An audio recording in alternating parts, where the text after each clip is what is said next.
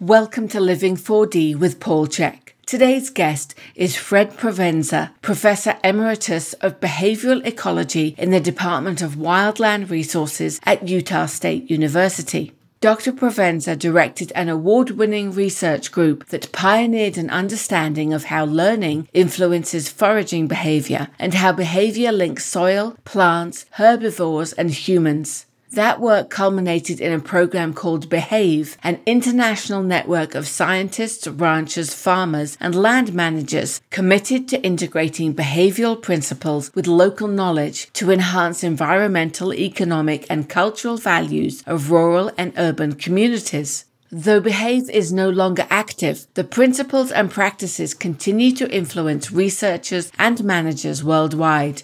He is the author of three books and has published over 300 research papers in a wide variety of scientific journals.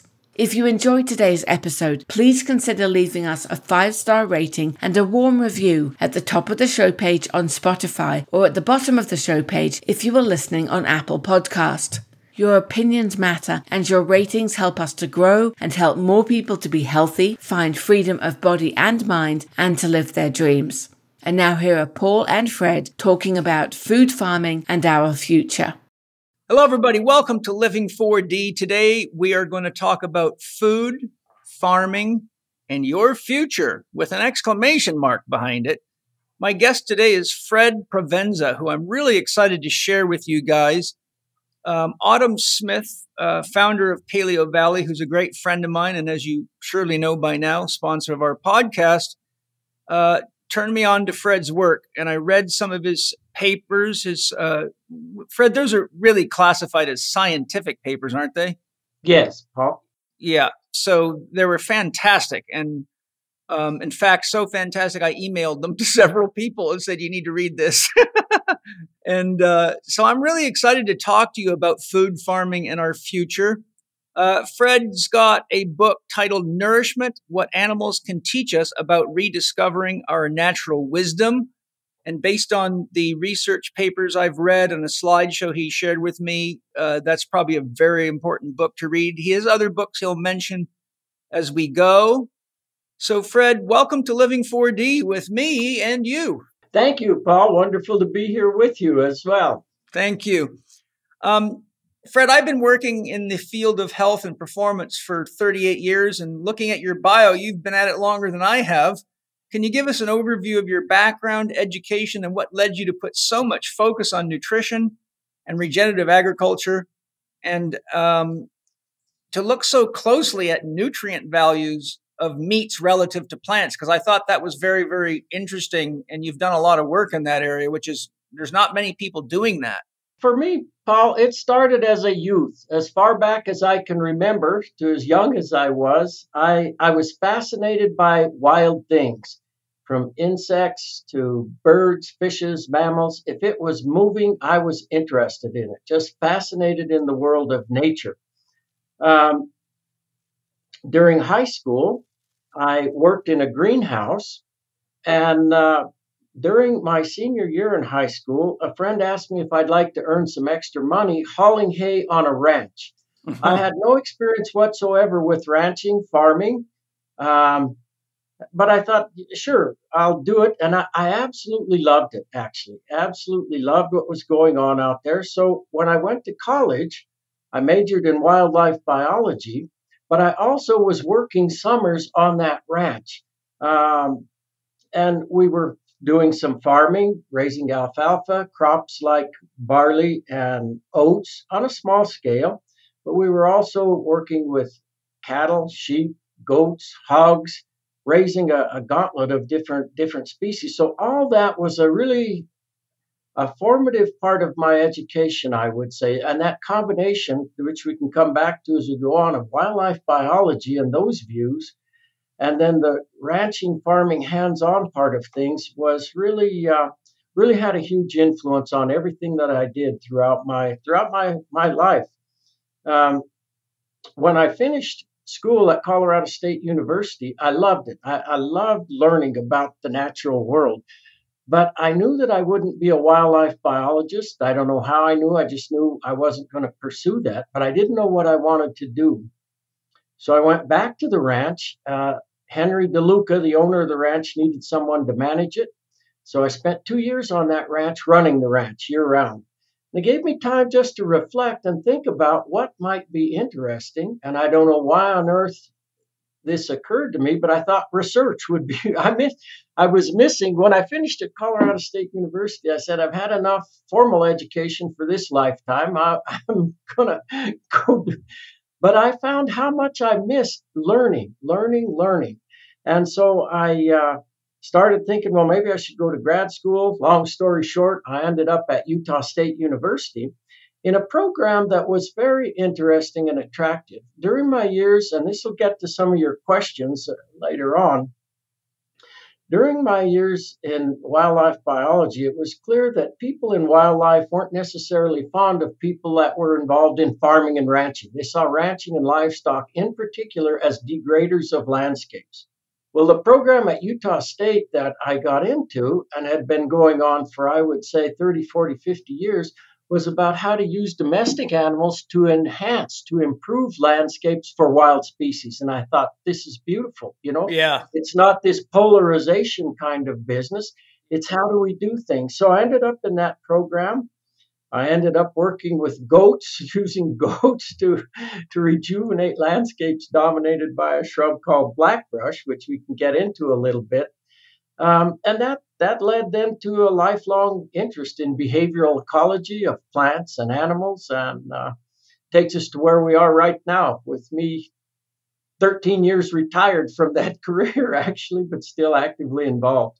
Yeah that's very good. I i you know i come i was raised on a farm and and you know my whole childhood was right there in the dirt working with the animals. My father was the president of the farming association and uh, my mother's a yogi and and you know my parents were very holistic and oftentimes when money was tight we lived completely off our farm. And so i kind of have a similar background you know starting with hands on and you know seeing how it all works and and also as an athlete getting to i i noticed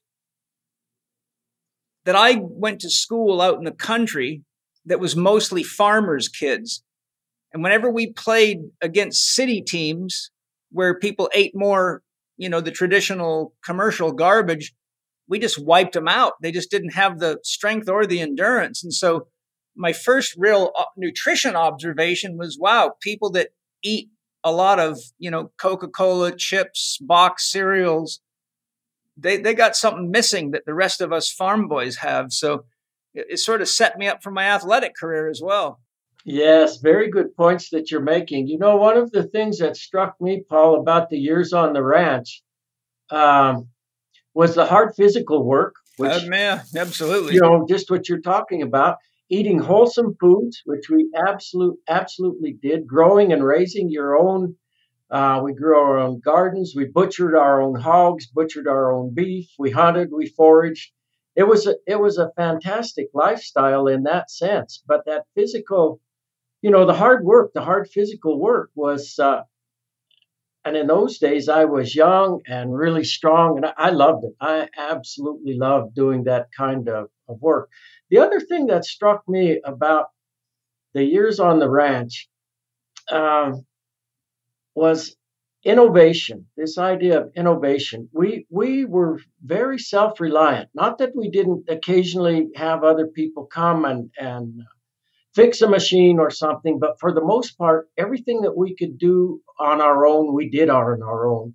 And I think that that's an amazing thing to learn that as a young person. And I often think, and I don't mean this to be disparaging, but as we've moved away from that kind of a society that, that was mainly people involved in farming and ranching kind of activities to people living in cities, that we've really that there's a lot that's been lost that uh, in that in that sense. I, I just think that self-reliance and that i can do it. Whatever it is i can figure it out. I can do it.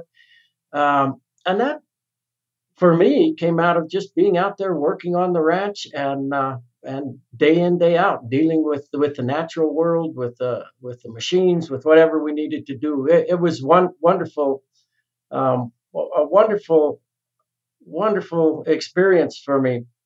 And really, I often look back on life and think about how experiences shape shape you and influ- influence what you you become and how for me there was no there was no expectations i wasn't thinking oh i'm going to go to a ranch and i'll work you know these things happen and they in retrospect you look back and you think my goodness that that was huge huge influence on everything i did and i never even thought about it it was not a deliberate thing on my part yeah you know one of the things I noticed, you know, I left school.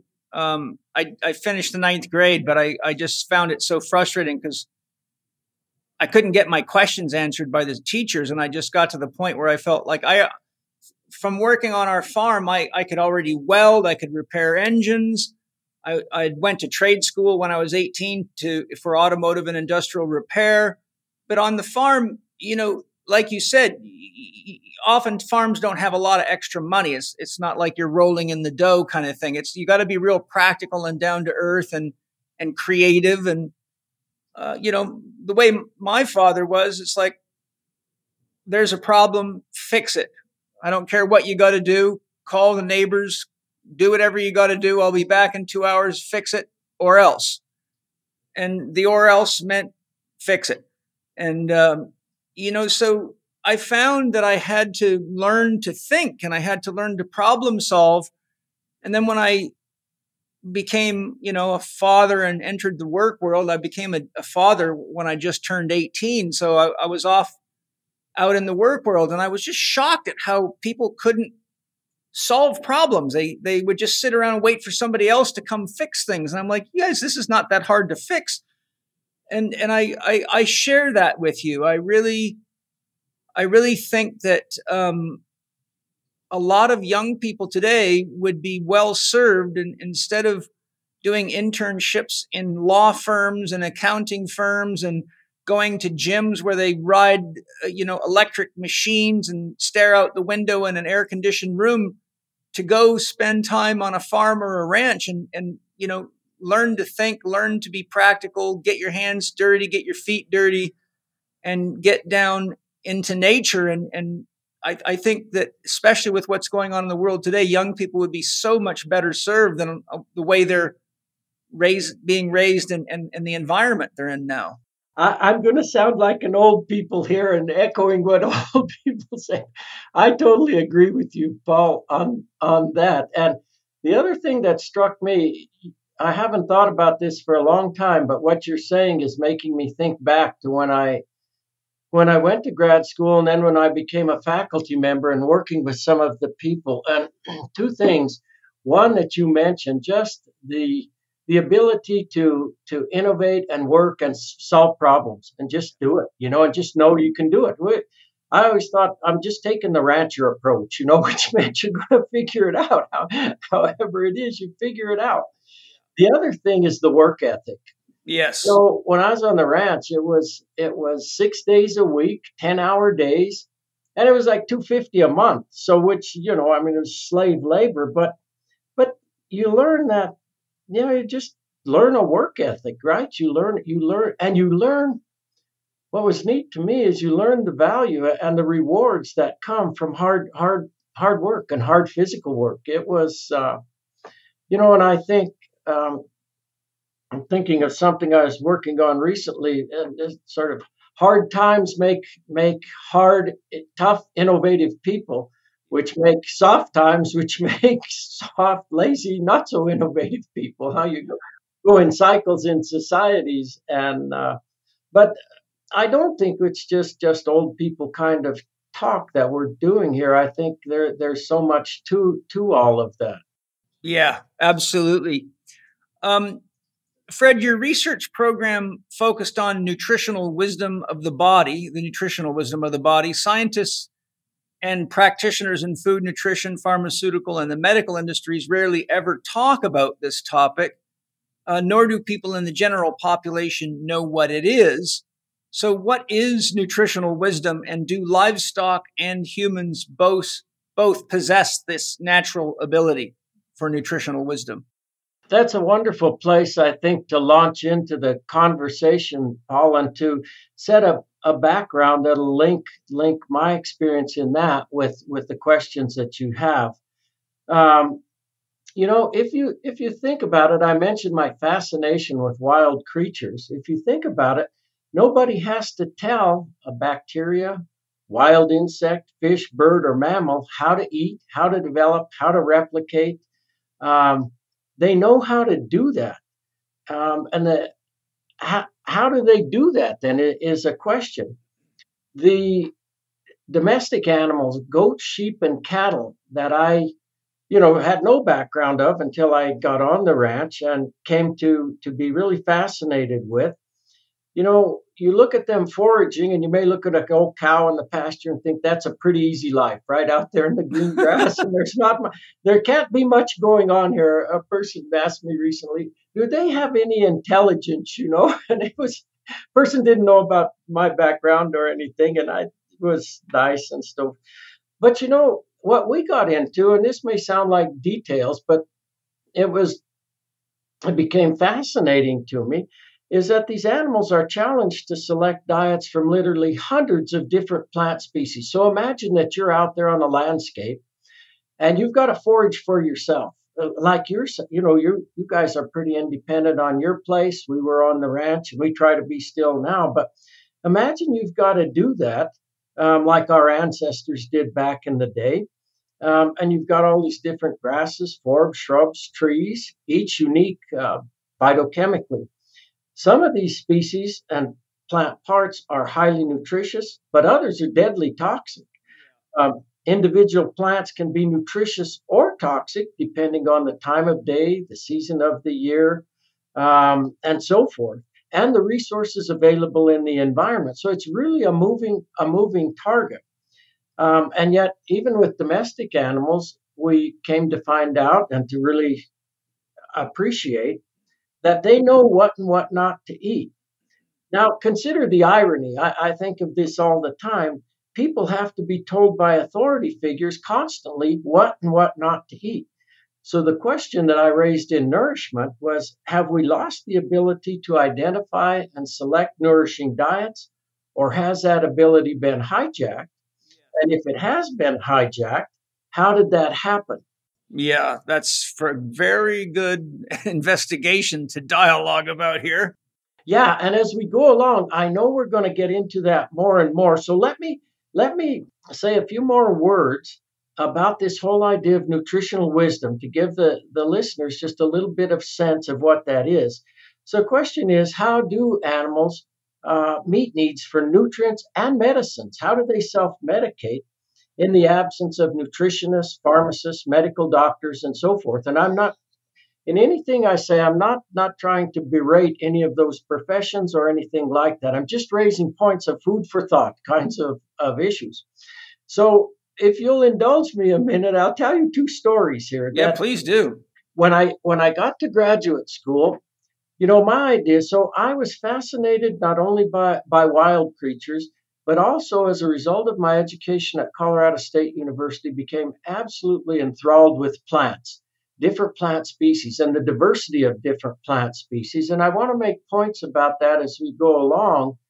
Um, you know, we raise lawns and the extravagant use of resources. If we were to get back into native plants and the beauty of native plants, wild grasses, forbs, and shrubs, there's a lot to be said for that. We can come to that later on. But I, I became, you know, my mother had raised gardens while I was growing up, vegetable gardens. She loved flower gardens. So I wasn't, I had been exposed to that, but I had never really seen a plant until the sophomore year in college when I took plant taxonomy. And we had to go out and do a collection of plants. And it was just like this whole world. I couldn't believe I had to read two books just to learn how to identify plants, all their different parts of the plants and so forth. And uh, it just opened up a, a world to me I'd never seen. I often say, I'm digressing just a second, I'm coming back, but I often say, growing up, there were only three seasons for me hunting, fishing, and skiing. And I survived the end of one season only because the next season was, was coming around. So I got out of school that sophomore year, went back to work on the ranch, and I went to fish a, a small stream that I loved to stream, fish since I was a tiny kid. And I could no longer fish that stream because I was so enthralled by the plants that I'd never seen, universes wow. that were there. And it, it struck me and still does to this day how many universes don't we see uh, that are right there in front of us? But it, it was just alive. So, anyway, what I would have liked to study in graduate school is wild goats, mountain goats, foraging on high elevation rangelands in the Rocky Mountains. That would have been my idea of a re- ideal research project, is following them around, seeing what they're eating, trying to, to just do that. Well, I ended up with a project that was studying domestic goats down in southern Utah by a town called St. George, about 28 miles northwest of St. George in the mountains there. So I thought, what can be more boring than that? But there was funding for that research project, you know. And the idea, the idea was what we mentioned earlier, was can we use domestic goats to prune this shrub blackbrush that grows in monocultures across huge areas of, of the transition zone between the cold and hot deserts? Um, can we use domestic goats to prune that shrub during the winter stimulate new growth. New twigs grow in the spring. Does that make sense? And these new twigs, people had done assays and they showed they're, they're higher in energy, protein, and minerals than the old woody twig growth. So we knew wildlife wintered on those landscapes, and we thought we could use goats to improve those landscapes for mule deer, bighorn sheep, and for cattle that wintered in those areas. So that was the idea behind the project. Now, two stories that I want to tell about that whole business. The first is that what we quickly discovered um, as we got into the study was that given a choice, most goats, and I make a point of this, not all goats, but 80 to 90% of the goats didn't want anything to do with the new twigs on blackbrush. They very strongly preferred the old woody twigs. Mm. When I told a toxicologist, an old toxicologist at Utah State about that, he looked at me and he said, I guess that just goes to prove that domestic animals have lost nutritional wisdom. Wow. And I did I didn't believe him, but I say that because that was that was the that was the belief in the in those times is that wild species still had it, but as a result of 10,000 years of domestication, Domestic animals had lost that ability. So I didn't know what to say. I didn't believe him, but um, but at that time, and this will lead into some of the questions that are coming up. Up at that time, roughly what 50 years ago, 40 years ago, this whole area that I'll refer to as plant chemical ecology was just getting a start, where ecologists were starting to to look at the diverse arrays of compounds that plants produce. You know, up to that time, people had focused on energy, protein, minerals, vitamins. And but there was this huge array of other compounds that plants produce. We don't need to get into the details on that in this podcast, I don't think, but they come under broad headings such as phenolics, which there'll be tens of thousands of those, terpenes, same thing, alkaloids, and so on and so forth. So there's tremendous diversity. And years ago, people thought they were simply waste products of plant metabolism. In other words, sort of the urine and feces of plants. well, it came at the time that that I got involved in all of this, and the ecologists were getting involved. They were referred to as secondary compounds and you're familiar with familiar with that term and all, all of that sort of thing. So uh, Royal Lee calls them nutritional cofactors. Yes, yes, another yeah, another uh, another way to talk about and think about them, and important recognizing that they they they they play roles. So this whole field was was burgeoning then, and we had this issue with the goats not wanting to eat the new twigs of blackbrush. And uh, I met some people at the University of Alaska, some ecologists, some plant herbivore ecologists like myself, as well as natural products chemists. And we got to talking and thinking, you know, this is probably being chemically mediated.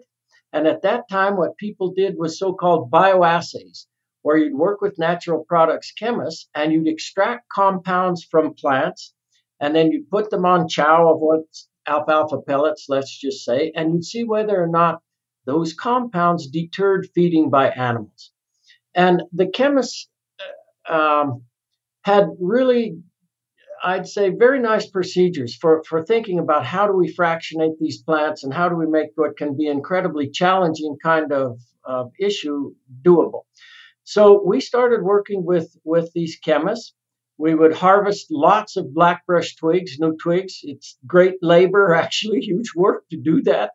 And then we'd extract, grind, extract, purify compounds from them. And we'd done a bunch of a series of bioassays with no nothing deterring the goats. We finally came to one last compound, a particular condensed tannin that was in blackbrush. And the our friend the the chemist said, you know, this is this about got to be it. I don't know what else, what else is in this plant. So we did the feeding trial. I'll never forget. It was in the the dead of winter, and uh, I'll say that this purified tannin was worth more than gold to us. It, it takes a lot of time to extract and purify. So we put this on the chow. We had 24 goats on the trial. Every goat ate every pellet. And we're thinking, you know, what the heck is going on with this deal? Our friend Tom Clausen tells us this is the only compound that's left in this plant that can be deterrent.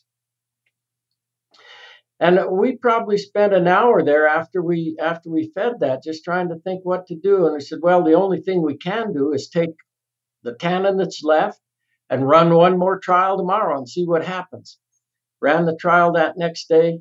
Not a goat ate a pellet. Interesting. That, that was a huge, huge, huge light bulb moment to us. A huge light bulb moment because it taught us one that condensed tannin was deterrent. But much, much more importantly than that, the goats were learning to avoid the twigs. They didn't innately know. And that shifted. We published a major paper on that in a major journal. And that really was a wake up call for all of us people who'd been studying um, all these creatures and just assuming they innately, they simply by instinct do what they do. It was like, no, no, learning is probably really important. And I'll have to say that I made some friends in this in the world of psychology as a result of publishing that paper. One of them reviewed it, a fellow by the name of John Garcia.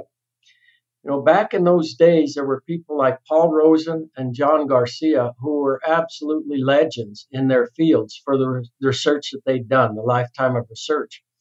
And John Garcia had studied learning in food selection, and Paul Rozin had been looking at those things too, but they'd done it with rats. And so most of their colleagues said, yeah, okay, that relates to a rat, but it's probably not really happening in the real world. So when we published this paper, that validated a lot of the work that they they did. They, they were able to say, look, you know, here's here's a real live creature on a real live landscape and it's it's learning to select its food based on uh, aversive post-ingestive feedback, as we'll call. That's a mouthful, but I'll talk just a bit more about that in a second here.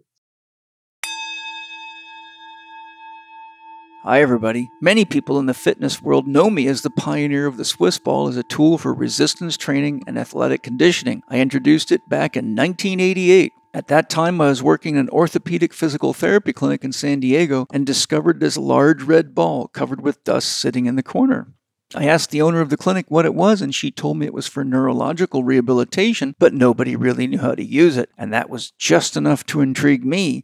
So I did a lot of research on it, started using it myself, experimenting with it as a rehab tool and for athletic development. And what I discovered was that the Swiss ball is an incredibly flexible tool that could be used effectively with anyone from serious orthopedic and neurological injury cases all the way to the best athletes in the world. And you can rest assured I've tried it with all types of people, including many of the best athletes in the world. You can use it for isolation exercises, integration exercises, coordination exercises strength training exercises, and even power development. You can use it to enhance balance, agility, stability, coordination, and posture. And you can use it throughout the entire conditioning process to take a client from rehabilitation all the way from injured right up to high levels of athletic performance. Athletes love the Swiss ball not only because it made rehabilitation interesting for them, but they often found themselves very challenged by even simple exercises, which was quite a mind blower for them. It was a point of pride for them to master these exercises. In fact, it wasn't long before they came back challenging me with the new exercises they've created. And so soon enough, people began asking me, why am I just learning this now? Why is no one teaching these techniques? Why am I waiting till I'm injured to learn this stuff? That's when I created my first Swiss ball course, Swiss ball exercises for better abs, buns, and backs. But that course was created a long time ago and no longer exists. But I still believe the Swiss ball is one of the most important tools for any trainer or therapist to master. That's why I'm very excited to announce our brand new online course, The Chek Approach to Swiss Ball. The course is a culmination of 34 years of research and clinical experience using the Swiss ball, and it will be your go to course for how to use it for yourself and with your clients for maximum results. Remember when I said you could use the Swiss ball for isolation, integration exercises,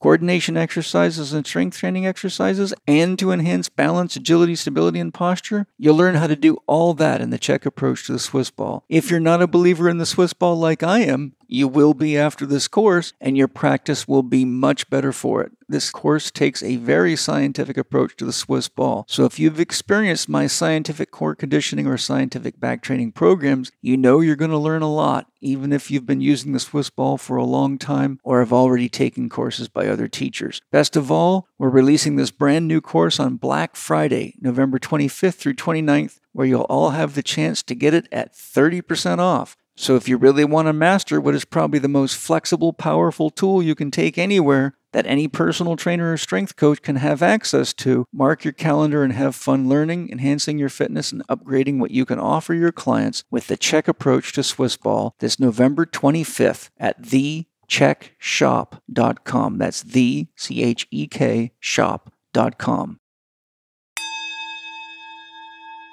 I love this kind of stuff I love it because not only are, are we learning from it, but it describes the process of learning how to learn.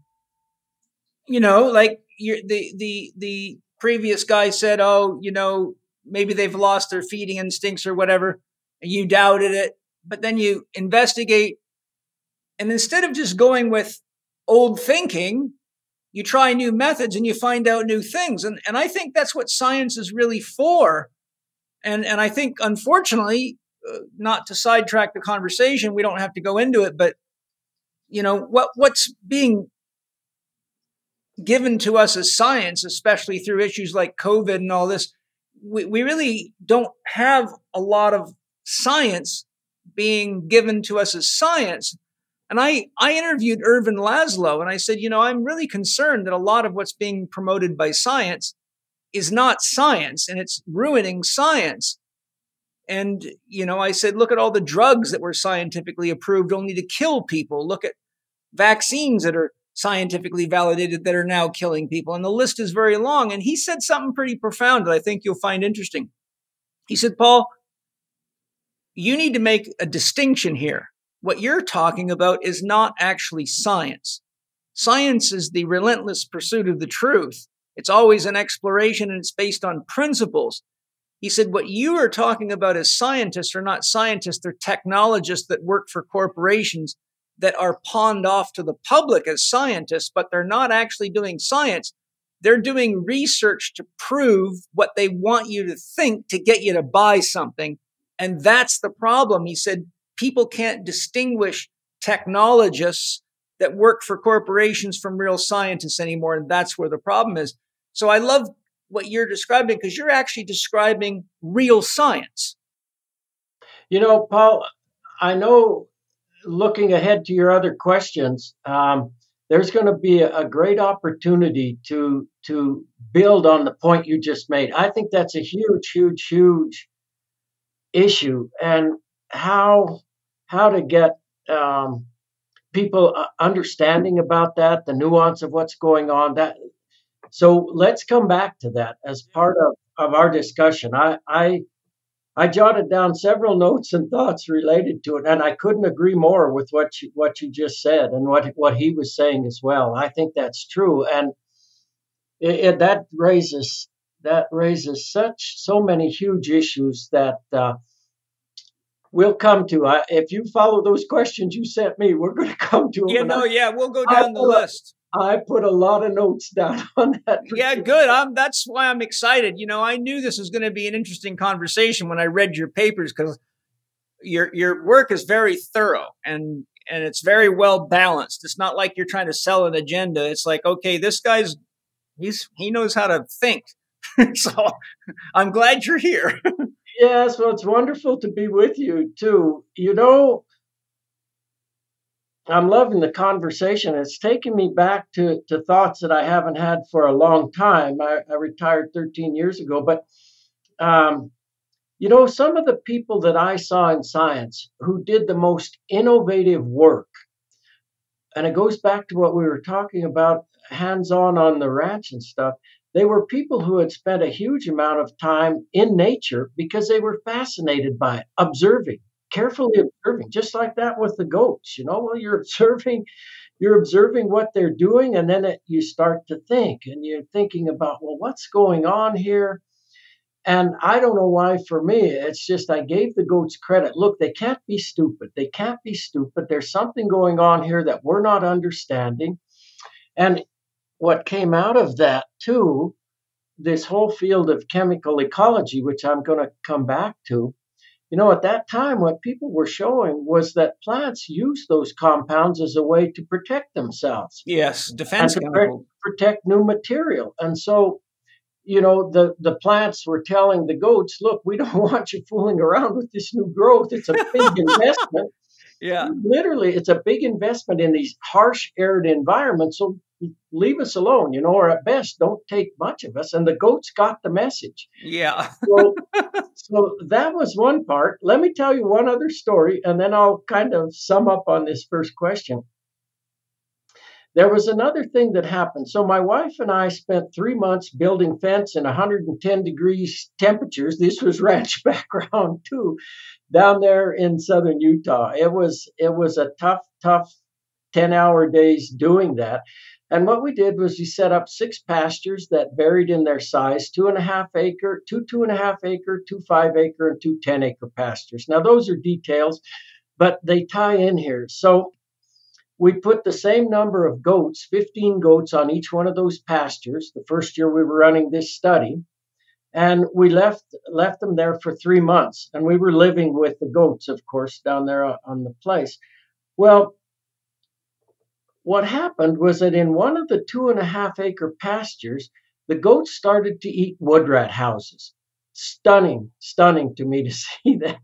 So these wood rats are, are little rat rat creatures, cute little creatures that live down there in the desert, make their living down there. And at the base of these trees, the juniper trees that were growing there, they build these big elaborate elaborate houses.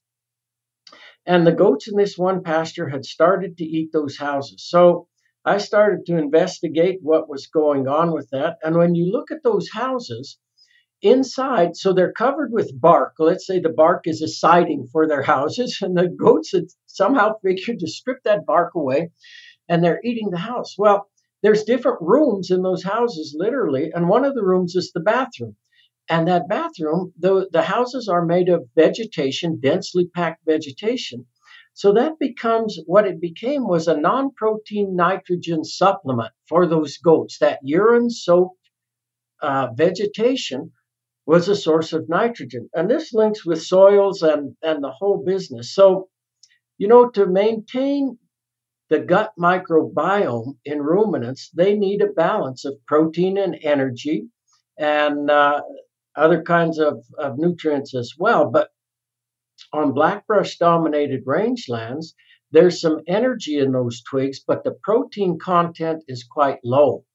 So when they discovered this this source of protein, they would there wasn't a there wasn't a wood rat house left in their particular pasture in that two and a half acre pasture. So when I did the the statistical analyses on those, what and looked at weight response of goats in the different pastures. The goats in the two and a half acre pastures lost significantly less weight during that three month browsing period compared with the goats in the five and 10 acre pastures. What was driving that whole response for those two and a half acre pastures, the two pastures though, was the goats in the one pasture that had learned to eat the wood rat houses. They hardly lost any weight during that winter trial. So that was significant, right? I mean, here's a here's a deal where they'd figured out something, and I often tease people. We, I say, we were living with them uh, day in, day out with them. I don't know why the particular goats in that pasture started to eat wood rat houses. I, I don't know how, you know, what I often tease people and say, well, the Einstein of the goat world was down there in that pasture and figured out that this is, but they're socialist can be. And so the minute that got started, they were all doing it. And uh, like I say, they ate every wood rat house in that pasture and they benefited from it. So just so I'm clear, it was was it the nitrogen in the urine of the rats that was attracting them? Yes, and that nitrogen, you know, so they're it's the base of protein. Yes, that's it. It's a non-protein source of nitrogen. They're they're urinating on that, uh, peeing on that densely soaked vegetation, so it becomes like a cake supplement, so to speak. You know? Yeah. So they're they're they're um they've they've got a chemist a chemist mind in their head. They're smelling this and know that that's what they're needing. Yes, you know what it fits with too, Paul is, and and we did a lot of research on this. Is that when when nutritional state is adequate, um, animals stick with what's familiar and they don't explore so much the the unknown, un, unfamiliar kinds of foods and so forth. But as nutritional state becomes inadequate, they start to sample highly unusual. We may or may not get into this, but you know, we we had experiments where we were making uh, sheep, in this case, deficient in phosphorus, and they uh, they started to to eat soil, dig up soil, and eat it. They started to eat feces of sheep that were adequate in phosphorus. So they start to sample new things. And if that works, bingo, you've got a preference formed very quickly. And um, so that, you know, I, from all the work we did, I think that's what was happening is that they were starting to explore the, and however they got going on those wood rat houses, and then they sampled that, and very quickly they were reinforced by the protein that was was in that uh, in the wood rat houses, and immediately had a preference that led to them performing much better over that that uh, three month trial. You, you know what that reminds me of, which is sort of a different topic, but it brings this whole concept up do you know what the Amanita muscaria mushroom is? Yes, I certainly do. I certainly do. we were just in Colorado climbing 14,000 foot peaks and we were searching. We love mushrooms. We weren't searching for them on that day, but two weeks ago, two weeks ago yesterday, climbed a 14,000 foot peak over there. And yeah, I certainly do know Amanita muscaria. Yes. Well, the reason I bring that up is because the Tibetan shaman figured out that in order to get the best psychedelic effect, you have to eat the mushroom, pee into a container and drink your urine, and then you get a much better psychedelic journey off of it. Yeah. So what what why I'm you made me think of that is because you know they're with these animals all the time and animals might have been eating it and for some reason they might have drank the pee of one of the animals and gotten really high off of it you know, you know, I think that's fascinating. That I, I could see, Paul, we could probably we could talk for a long time. I can see. No, so you know that that raises that whole idea of innovation in animals, including humans, huh? and how how do animal? That's what struck me so much, and throughout my career, looking for what occasions where animals innovate, where they figure something out and then they're social so it becomes a part of the culture it becomes a part of the knowledge of the animals just like in us I have a friend who's originally from Boulder in Colorado who spent his life in Japan studying self medication in animals. Yes, that's very interesting. I've got yeah. some books on that. Yeah, my, well, may, he's probably cited in those. Michael Huffman is his Mike Huffman is his name, and what wonderful, wonderful fellow. We've we've been friends for many, many years now because we did a lot of work on self medication too. But he talks about, he studied in, in indigenous peoples and, and so forth, self medication, and, and talks about how they, um, you know, how did they come up with some of the things like you're talking about on, on how, how do you figure out you take Amanita muscaria and then you drink tea? But he's been, he's been with them too. And just what you said, you know, they, their close, intimate, intimate contact with animals and observing animals. What are they doing? And then thinking about that in relation to them.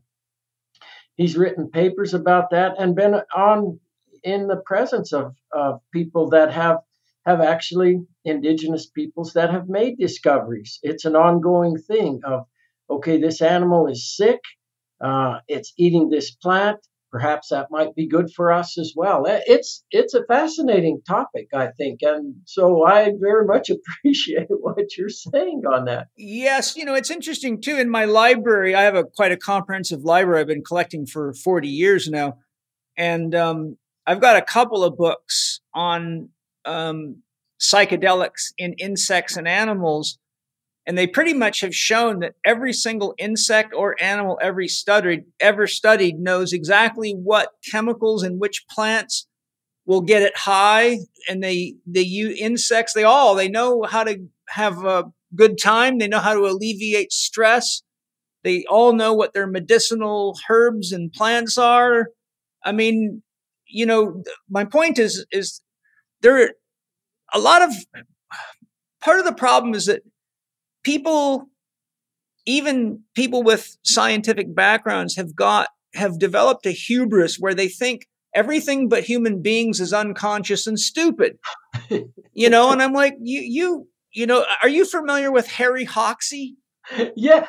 Oh yeah, I've written about Harry. Yeah, I've written about Harry and, and his stallion. Yes, absolutely. yes. I mean, uh, the guy developed a cure for cancer by watching his sick horse, right? Absolutely, absolutely. And, that, and, and I think that's.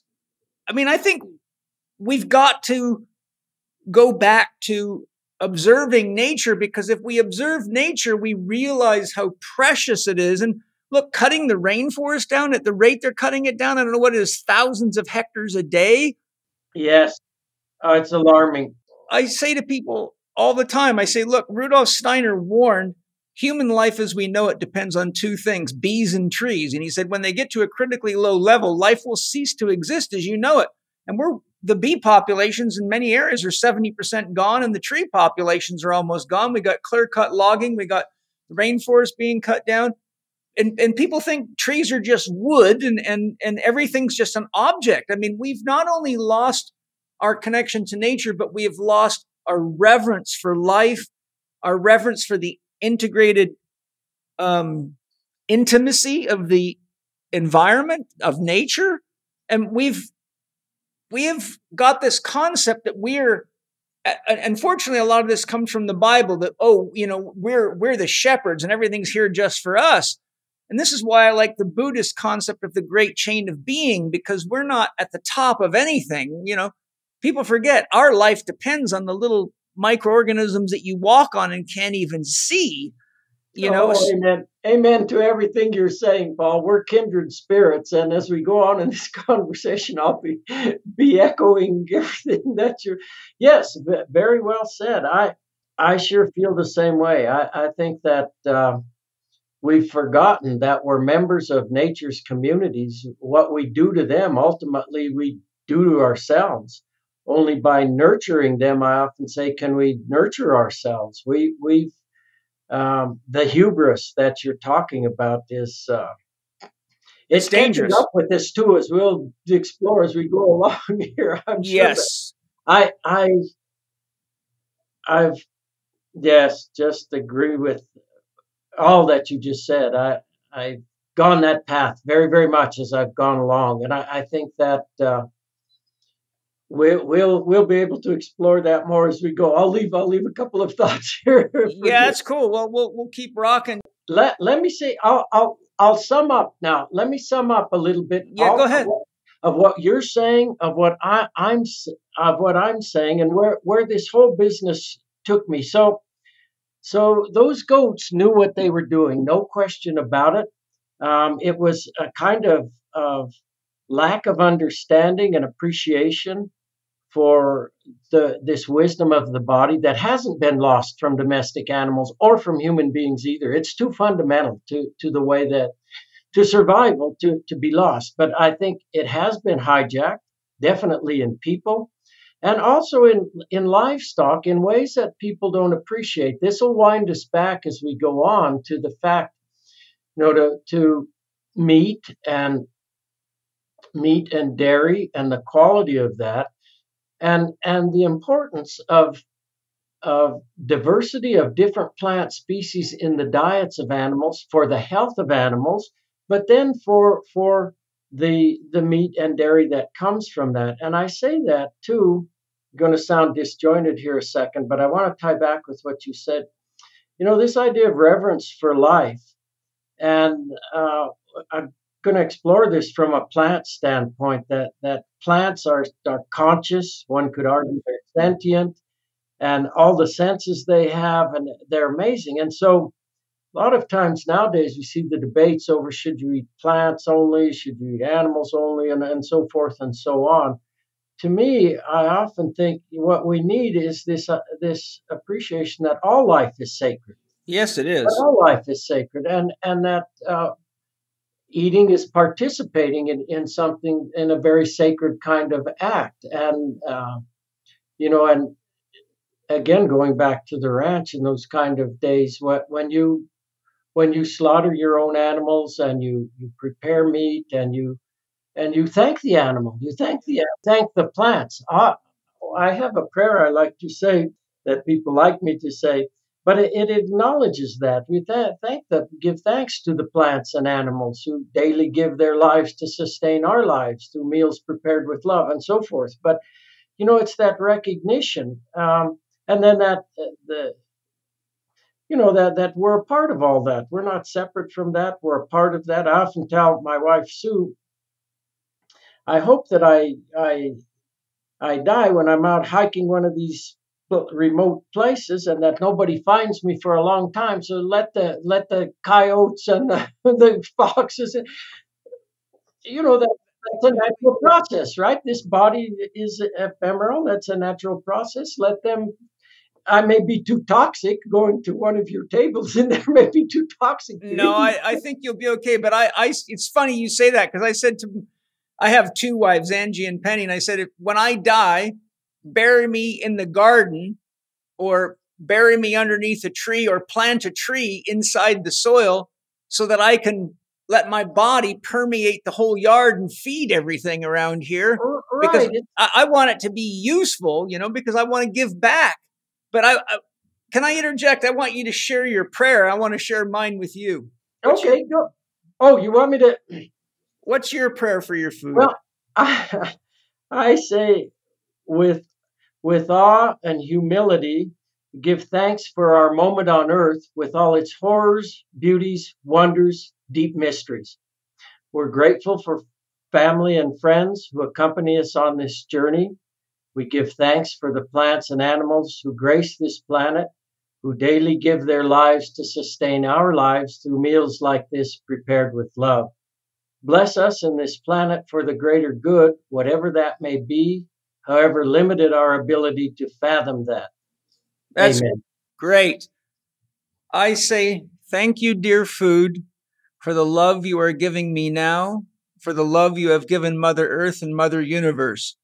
It is with great love and respect that I bring you into my being. I invite you to join me so that together we can make the world a better place for all living beings, now and in the future. Om, peace, amen. Wonderful, wonderful. Because I, my philosophy is I'm not killing the food. It's now becoming human and I'm inviting it to join me so that I can use the wisdom and the intelligence and the energy and the resources it's bringing me to use my life to help make the world a better place for all living beings. And, and, and this is what I try to get to the vegetarians. I say, look, you, you know, this idea of killing meat, you don't, you're, you're disconnected from the spirit. If there was no spirit in that food, it would just be like eating rocks. You're bringing the life force, the soul, the presence of that plant into you, and it's supporting you. So the chicken's not dying, the chicken's becoming human. You know, and, and then I, I say, you know, Rudolf, Rudolf Steiner said something very important. He says it's okay to kill something as long as you're going to do something better with it. But if you're just going to chop trees down and build another shitty shopping mall, that's killing. Right, right. There's you know, a distinction to be made there. A distinction to be made there. Absolutely. Yeah. Well, and this idea that we can come to more as we go along too of of of transformation, unending transformation. Huh? Everything that's transitory is but an illusion, and everything's transitory. Huh? It's forever transforming, transcend. We're a part of that. And then that broader notion of enlightenment or at oneness with being, huh? Of that that it's one. It's it's one. It's ultimately one thing at oneness with with the transcendent. Which again, I wrote a couple of notes down as we go along. Actually, your questions stimulated me to to to maybe add a few thoughts related to that. Yeah, that, that Buddhist notion, huh? that oneness. I think too. I don't know where it came from, but it's inside of me. This saying, "Being is becoming." Yes. Yeah right? We're not just here being, even rocks are becoming, right? Right, everything. And I think people have lost sight of becoming and, and that every day you have a chance to learn more about life, about love, about yourself, about nature, and to become something more that you can share with all of it, you know? But what do we have now? A world full of people that are addicted to video games, junk food, and they see no purpose in life. And I'm and I, I, look at this and I go, look, you need to spend some time on a farm. You need to go contribute to something. You, need to go do something where you get to help other people become something too. And I, I watch this all going down, and, and I'm I'm like, wow, I've really got, I've really got to make sure my children, because I, I have a 43 year old. My first son's 43, and he has a grandson. So I have, I have a grandson from him and then when I was 54, Angie had Mana. And then when I was 56, Zoe came along. So I've got a six year old, a three year old, a 43 year old, and a grandson.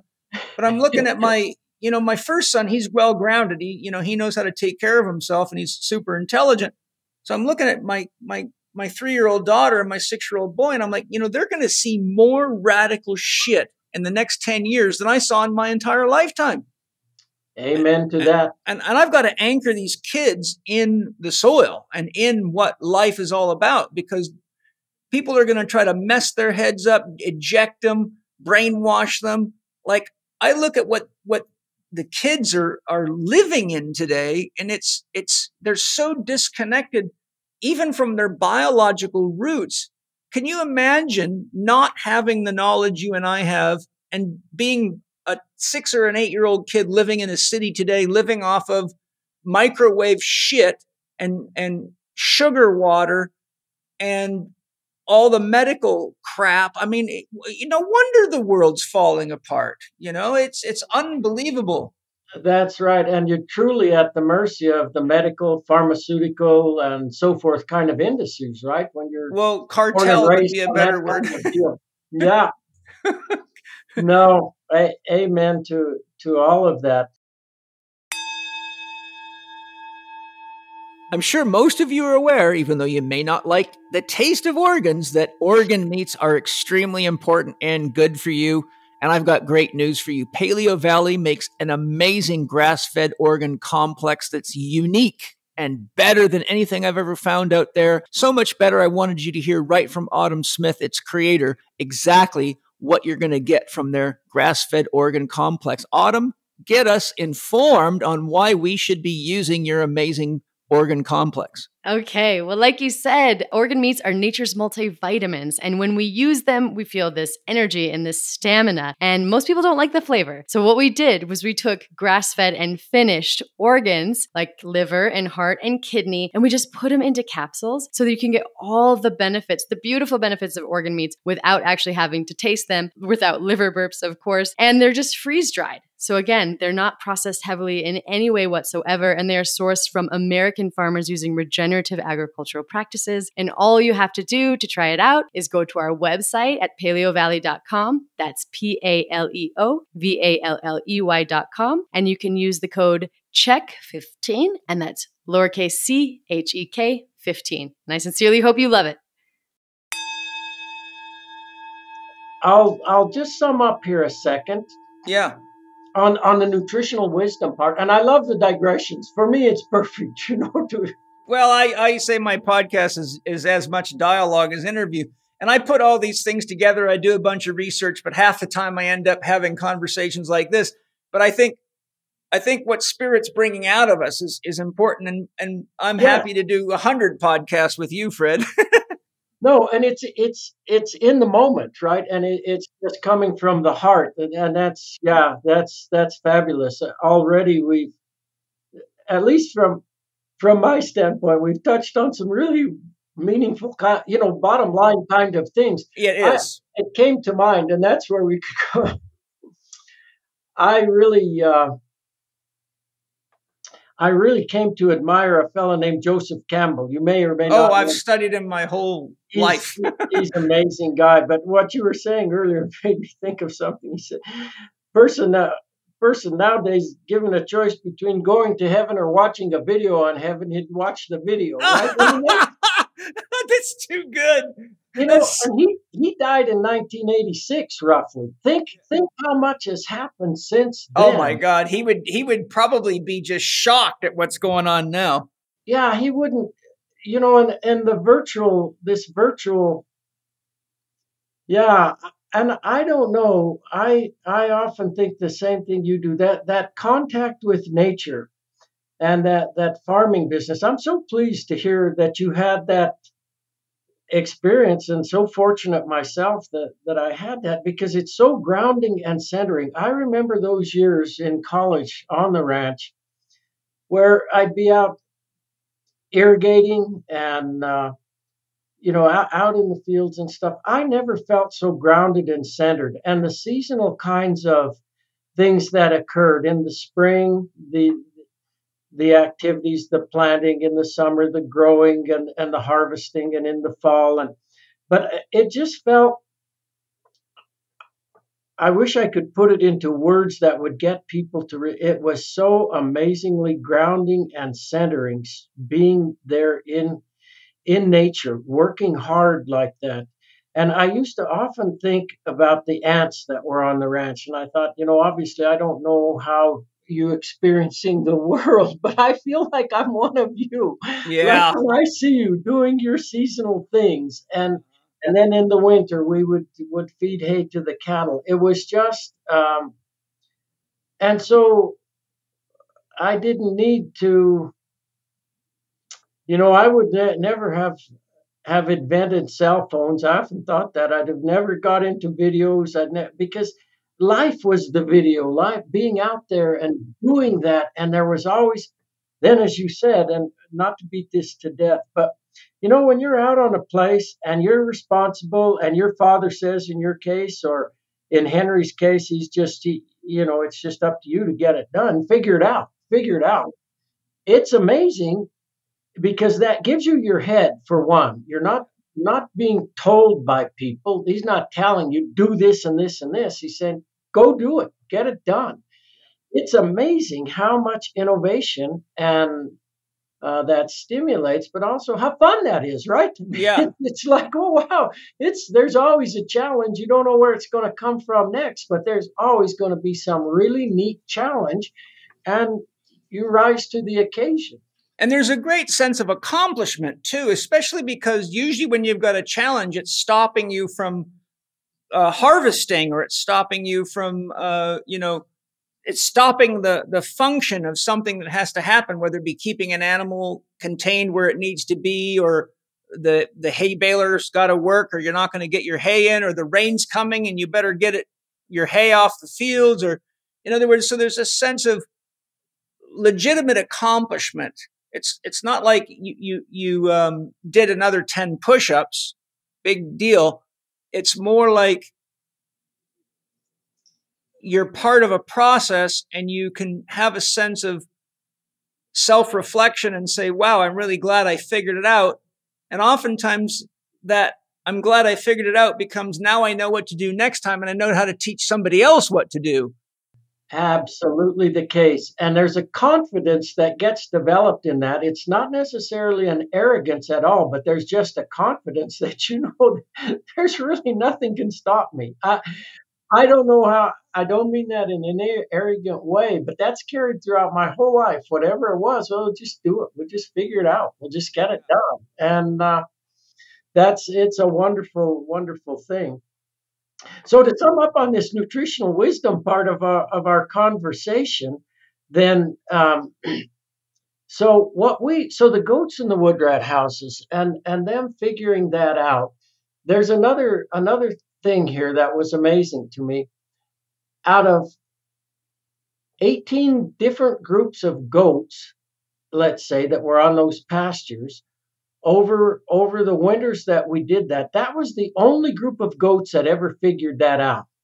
That's pretty amazing. So it means that it's not inevitable that animals will figure things out, right? That, mm-hmm. But sometimes it happens for whatever reason. It happens, and then this notion of culture becomes really important in that. So let me say, to sum up, I, I would say that a palate in harmony with the landscape evolves from three mutually interrelated processes. The foundation that we studied so much over 35 years is these metabolically mediated, what we call flavor feedback relationships that involve cells and organ systems of the body, including the microbiome, interacting with biochemicals in foods. Um, and those relationships then are mediated, as we came to learn, by nerves, neurotransmitters, peptides, hormones, and so forth. And that becomes then the basis for the nutritional wisdom of the body. For instance, ju- just very, very quickly, no need to go into the details, but if you look at where nerves from the gastrointestinal tract, like the vagus, go, they go to the brain stem and they converge directly with nerves for taste. They're talking to one another. So this is setting up this, this feedback. So that we did so many studies of that, Paul. And to make a, a long story really short, but we showed that whether it's energy or protein or ratios of protein to energy or rates at which protein and energy ferment relative to one another, or minerals like sodium, phosphorus, calcium, vitamins, and so forth, that all those kind of relationships were being mediated by feedback. They were learning. Animals were learning, and they learned very, very quickly. But you think, well, why? See, they'd always been assumed that they just innately know. They innately know. But if you think think about it, here's me me trying to reflect for whatever that's worth in this sense. But in environments that are constantly changing within a day, from day to day, week to week, season to season, and then that are changing hugely over thousands of years, it makes sense to set up a system where animals are able to learn very quickly. You don't just lock into something, you create an ability to learn very quickly. And these feedbacks are, are really uh, vital in that. The second part, then, that we'll come to more in the podcast and this hijacking, what really matters for animals is the availability of a rich array of, of phytochemically rich foods. They can't do it on a monoculture or a total mixed ration in a feedlot. It's not going to happen because they don't have choices available to them. The third part then is this cultural part. And, and we did so much studies looking at how starting in utero, um, then the, the fetal taste system is fully functional during the last trimester of gestation. And we showed that flavors in foods mom eats gets into the amniotic fluid. It's already preparing the offspring to eat foods that are out there in the environment. After birth, flavors get into mother's milk and a rich array of flavors. Now let's contrast that. I'm jumping ahead, but let's contrast that. Imagine nowadays a mother feeding her infant on formula. Oh my you know, on God. an ultra processed diet, then you feed them on formula. There's no it's just broken those links so so completely compared to say a mother that's eating let's contra a mother eating a really wholesome diet of plant and animal foods whatever eating a rich array of those her offspring starting to get that in in the amniotic fluid in utero which is influencing gene expression that it's influencing morphology and physiology um, then when mother's diet uh, ha- is varying from meal to meal and day to day, and she's breastfeeding her her baby, all those flavors, that baby's being exposed to this really rich array of flavors. That's setting them on a totally different trajectory. And then mother as a model, you know, mother, uh, we showed over and over again, young animals are learning what and what not to eat, where and where no, not, where and where not to go to forage. Um, what's a predator, what's not a predator, all these things the young animal is learning from mother. Does that mean that the young animal never does anything differently? No, absolutely not. Young animals are inquisitive, right? They're exploring as well. But what mom has done is to set them up with this familiar base of foods. Now imagine that a young animal samples something that's never eaten before and it gets sick. And we did studies like this. It gets sick immediately after that. Bam it's like, whoa, no wonder mother, I'm um, no wonder mother avoids this stuff. It's bad. But the young animal samples it really cautiously. It doesn't go and eat two pounds of it. It takes a few bites and it, uh, it looks at what the consequences are. And again, we showed that in studies after studies after studies, this relationship between the familiar novel dichotomy, mother's role in all of these sorts of things as well. So if I was giving a talk now and and laying this out in a in a uh, in that format, I would show you a video of sheep. And I, it, there are two group. There would be two groups of sheep in separate pens adjacent to one another, four sheep in each pen and they would be eating straw. And as you know, straw is not a great forage, right? I mean, it's no, it's, it's pretty malnourished. It's not very much yeah, nutrition. it's not going to be. It's not a great food. So, but one group of sheep, both groups of sheep have been made mildly deficient in a nutrient, and we did this in short courses that we taught for years and years. So this video came from a short course, and uh, and so the one group, after immediately after they ate the straw, we put the nutrient they were lacking directly into their gut. We just put it right into the gut. Doesn't matter how we did that. That's not important, but we put it. The other group got the carrier, but not the nutrient. So what you would see then in this short video is one group of sheep absolutely loves the straw. They they eat every morning. They're chowing it down like mad. The other group of sheep isn't eating at all. In fact, they're standing there at the panel that's separating the pens, looking at the other sheep like, what have you got that we don't have? So, yeah.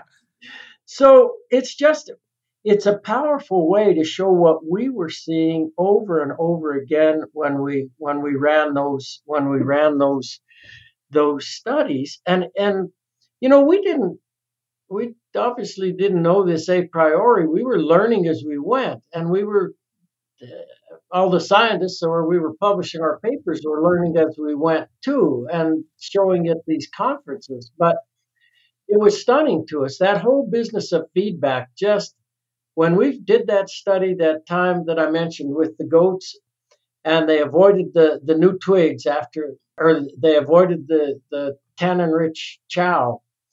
That really I thought about that for a long time, and and it because it was so foreign. You know, everybody thinks you eat something, you eat things because they taste good, you avoid things because they taste bad. This whole idea that feedback was mediating these relationships was not a part of the on the radar screen at all. And so I'm just trying to emphasize how much that struck me. And then we just did well you know, hundreds of studies showing all the different ways that works with different nutrients, the nuance, and all that stuff. So let me make another point here, uh, and then we'll we'll. Uh, and I want to make a point about the microbiome, which is very important, no question about that. But I want to say, for as long as I've been involved in ruminant research, the gut microbiome has been the the alpha and omega. It's been what everybody uh, focused on. You know that that whole area of ruminant nutrition. It's like all there is is a rumen here. That's all that matters, and it's important, no question about it. And the microbiome and what's going on there is is vitally important. But the point I want to make is that the rumen is just one of many organ systems in the body, and all these organ systems are, you know, people are showing with humans now, well, the gut microbiome is producing uh, peptides, transmitters, neurotransmitters that are altering liking for food. And yes, certainly.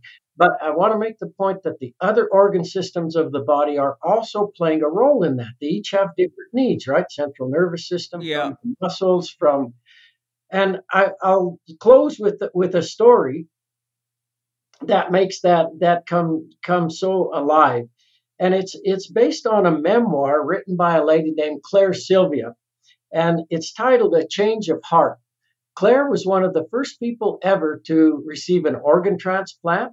She got a transplant of a heart, heart and lungs, actually, and uh, this book is her account of that. And what she what she points out is, um, you know, there. How do I say? She points out that everything in her life changed when those organs were put into her body. Yeah, I'm very familiar with this, uh, but I, I'm glad you're sharing it. Yes, emotionally and physically, it's like, and you know, a doctor told her the heart's just a damn pump. But if you think the heart is just a damn pump, she's telling him, put somebody else's heart in your body and you'll see it's not just a damn pump. It brings a lot of a lot of information with it. And so Claire got the, the heart and lungs of a 20 year young man put into her 48 year old female body. And so that book is just an account, an amazing account of, of how that changed. But the point that she made was that her preferences for foods really broadened out after she got Tim's heart and lungs. She never liked for, well, she never liked beer. She never liked green peppers. She never liked chicken McNuggets, on and on and on. And she came to just absolutely love those. In fact, um, when she was about to be released from the hospital, she was on an exercise bike. The press was there to interview her because it was big news, right? In those days, that was big news. And at the end of the interview, one of the reporters said, You know, if you could have anything you want right now to eat or drink, what would you want? She said, Actually, I'd like a beer. And she said the minute the words came out of her mouth, she wished she could take them back for two reasons. One, it was a flippant response to a serious question. Two, I don't even like beer, she said. so, you know, it's it's just trying to make come alive that these cells and organ systems in our bodies are, you know, who is this entity I call, quote, me? It's this whole gestalt. It's not just it's a collection. The central nervous system gets in the way a lot of times of, of of the knowledge, the physical and spiritual knowledge. You know, like the enlightened ones say, you've got to shut down all that chatter, and you wake up to who you who you really are. Right? You become it. Yes, they're they're all giving instinctual wisdom. Yes, yes. So uh, that's kind of that that's trying to say it just to try try to make that point and to highlight some of the things that we were learning o- along the way about this nutritional wisdom of the body and uh, and the book nourishment was my attempt. So we published probably 250 papers. Now it's over 300 in the scientific literature on these topics but no one's going to read all those papers.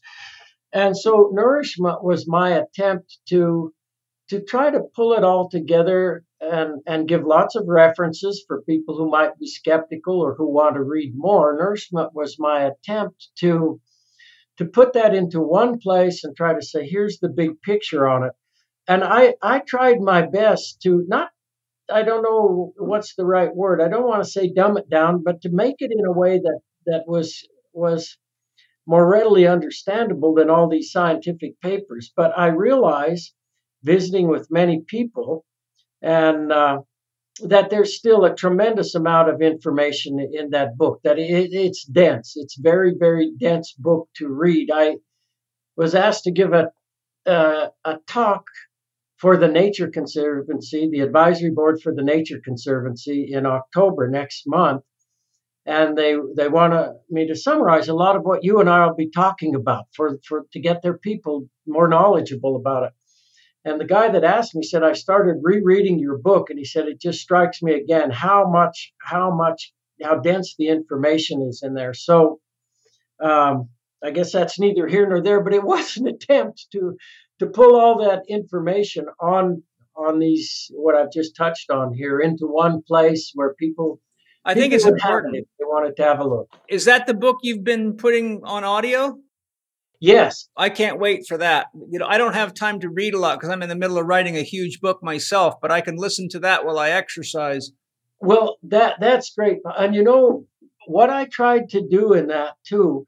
So nourishment was about 154,000 words in length. I cut it down to about 82,000 words and tried to to to remove a lot of the scientific de- detail and stick to the big picture of it. So yeah, so that's you know that should be coming out in, in the next. I don't know how long it takes, but we we finished we finished all the work on the audiobook yesterday, all the all the redos, and so please please let me know when it's out because one i want to get a copy and two i'll notify all my students and and and i'll try to get as many people as i can to listen to the audiobook or read the book Okay, well, thank you very much, Paul. That that's good.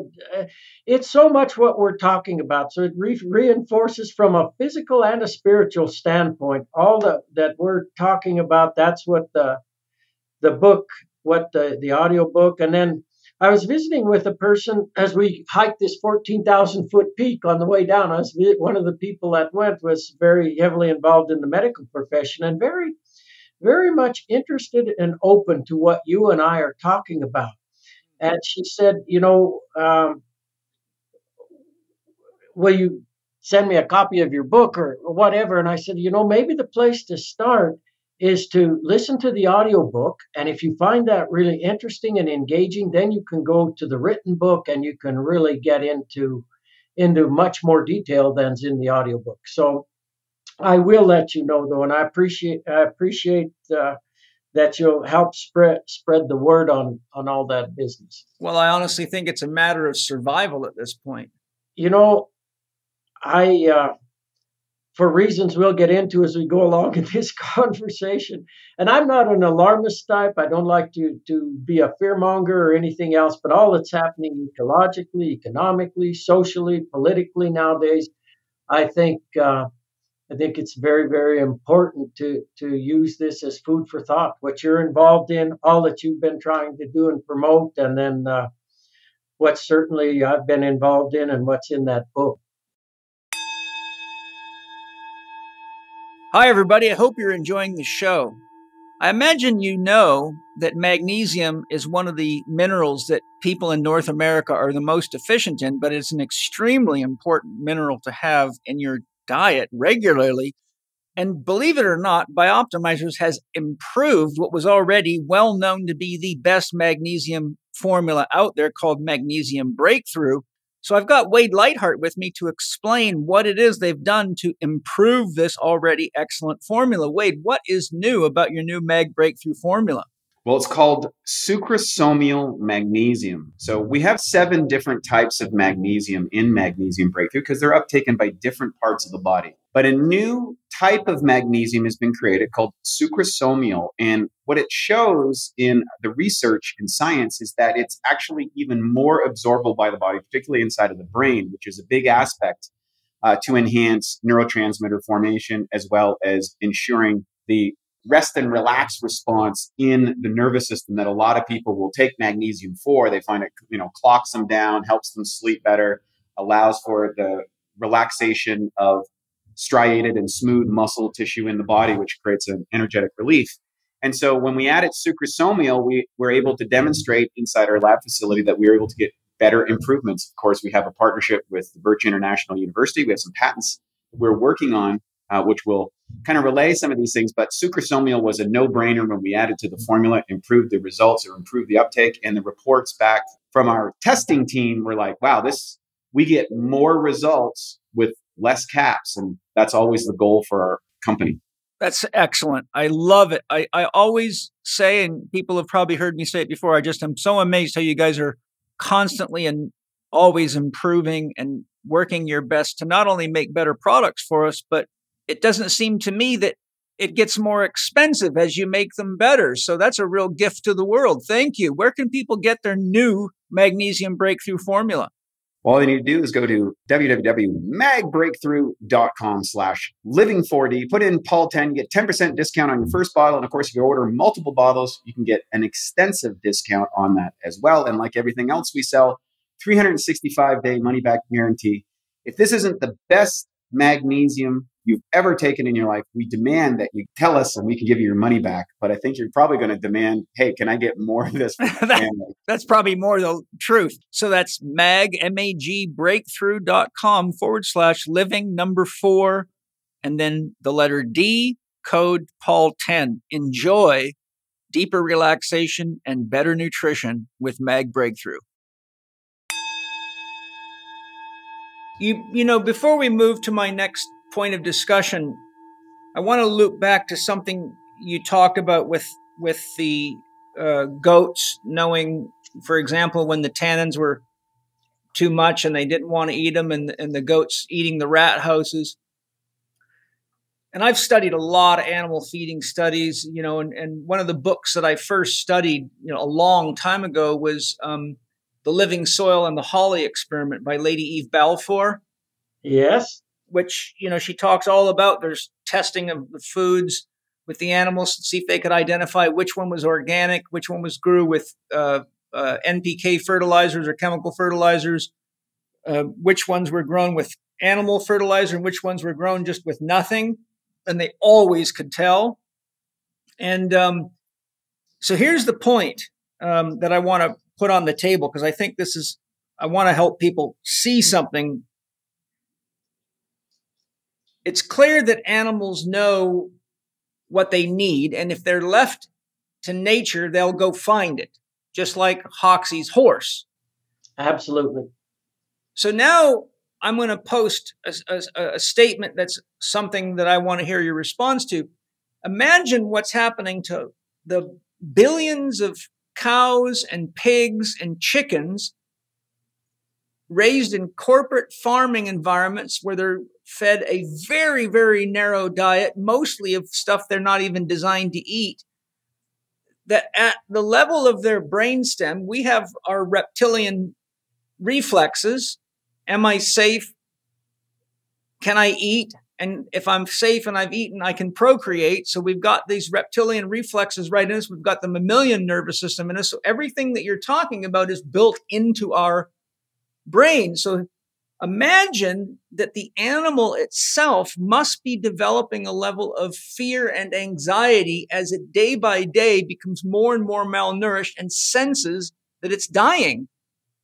Paul, let, let's take a minute since you raised, I think that's such a critical issue. And I thought about that quite a lot as we were doing studies on this whole area of nutritional wisdom over the years. I never wrote about it much. I have a bunch since I've retired trying to make points. So let's let let's just step back from this whole deal and it becomes you're right it because the the the five animal welfare freedoms all get tied in and all all get uh, all get abused in that let's let's just step back and and think about this so you've got an animal in a natural situation it's conceived born and reared in a particular landscape and mother becomes a transgenerational link to that landscape and the ancestors and so forth. Uh, that becomes very functional kind of linkage. So what what we do now then, and you know, the emotional aspect of all this, mother mother is very what happens in in many of the the wild animals like we were interested in and worked with let's take bison for instance or or elephants or or many many ungulates they they live in extended families. They're living in families matrilines um, and if you let goats sheep and cattle go feral they end up in extended families and matrilines as well it's amazing it's an amazing thing but it's an amazing how do we say this? Just like for we humans, family can be a great source of knowledge and comfort and uh, stability and health and health to us. It, it definitely is to them. It's amazing. So, what we've done though is we take these young animals then at a few months of age, six months, whatever it is, we wean them from mother.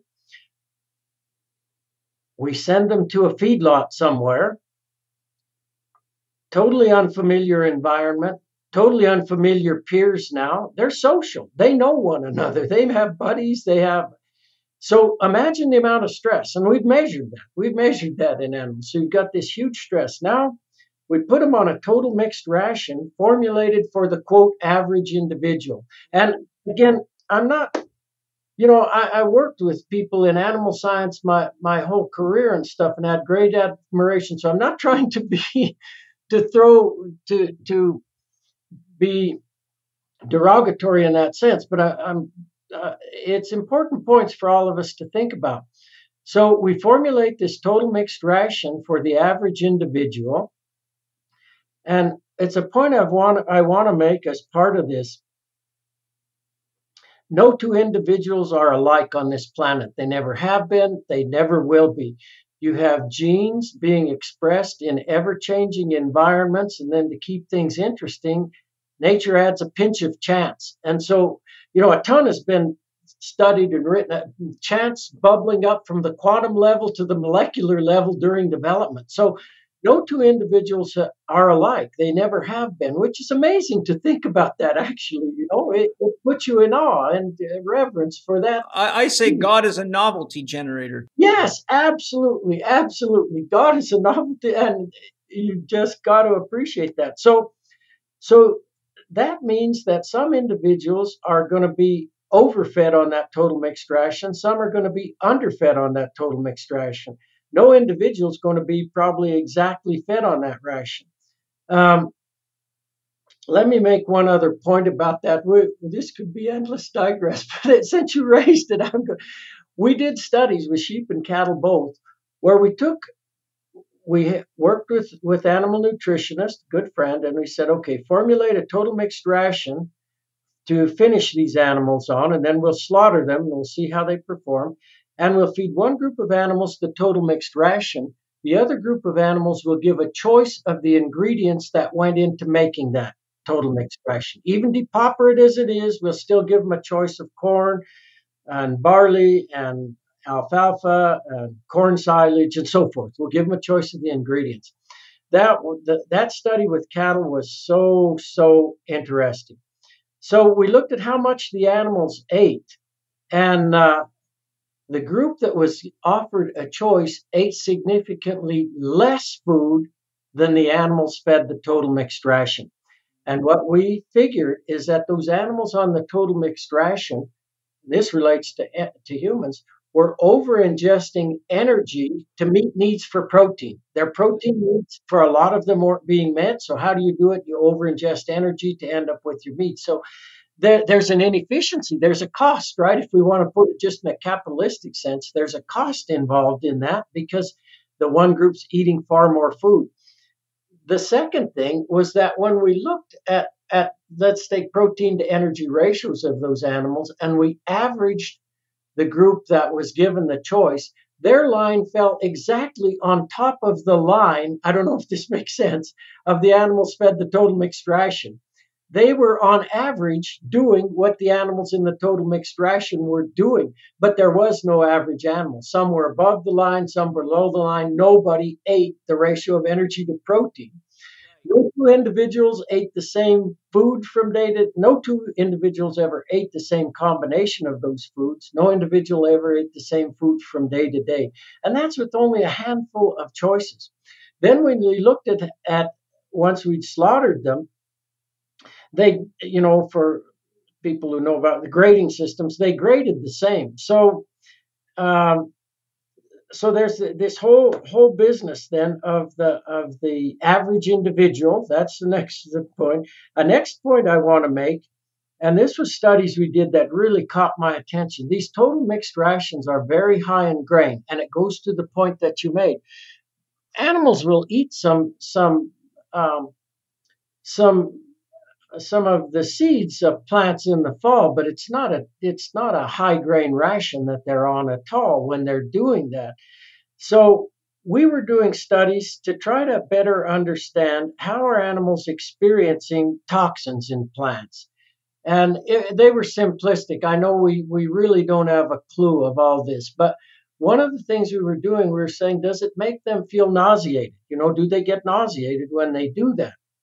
And so we were showing that if we gave animals antiemetic drugs prior to the time that they were, were eating a, a toxin containing food, they'd actually eat more of that food, which is not something you'd want to do, right? But it's just showing that we're knocking out a feedback system that allows them to sense that.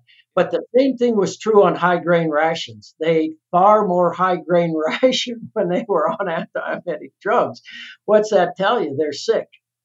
Those, high grain rations make them feel sick. And so you get these cyclic patterns where they'll eat and then they drop off, and then they eat some, and then they drop off. So that's another problem with that whole deal. The, the last that I'll mention um, is imagine that somebody formulated, in a way, the, the ultra processed food industry has done that. They've formulated total mixed rations for humans that are. That's high. right, yeah Eh, are very high in, in, in high fructose corn so energy sources and so forth. But imagine that someone formulated a ration for you and they and that's all you could eat day in day out. Every meal that's all you ate. It doesn't take any time to show in studies how sick and tired animals get of trying to do that. And we would be the same thing. You couldn't stand it. You could not stand that food and yet that's what they've got to deal with. So you know i i i, I wasn't goes back to something you said. I was never involved in trying to make money off of our research anything like that during the years that i was doing doing the work. And I, it was a blessing actually. It was a blessing not to be involved in any of in, any of because the motivations were pure in that sense right? I yes. went to many conferences over the years where there'd be everything from people studying rats to people like me studying ruminants to people studying people. And we were all talking about the same principles and processes. We all understood how behavior works. But I used to think, and the guys from the food industry would give their talks and talk about how they were going to create the next product and so forth. And I used to, to think, boy, that's that's pretty clever how they're doing that. It's really I wasn't using the word then, but it's a great way to hijack the system. And I used to think all the time, I used to think, you know, nobody really cares about a goat, a sheep, or a cow, but where the money is, is with people. If you want to make money, that's where you take these understanding of these principles and processes and you, you use it on the, the human food system. Well, now, as you're advocating, and me too, We've got to we've got to unhijack the system and get back to growing and eating wholesome foods, and get the palate um, back in touch with two things have happened. You know, and we can get into this more as we go. The the flavors of wholesome foods, whether it's fruits, vegetables, um, meat products, dairy, have gotten blander and blander and blander. At the same time, ultra processed foods have become irresistible. They've figured out how to do that. And so it's a double whammy that's really set us up for talk about a, a super hijacking of and then we just have to look around and we see the, the obesity and diet related diseases and uh, that's a fact, as we we all know, huh? Yeah.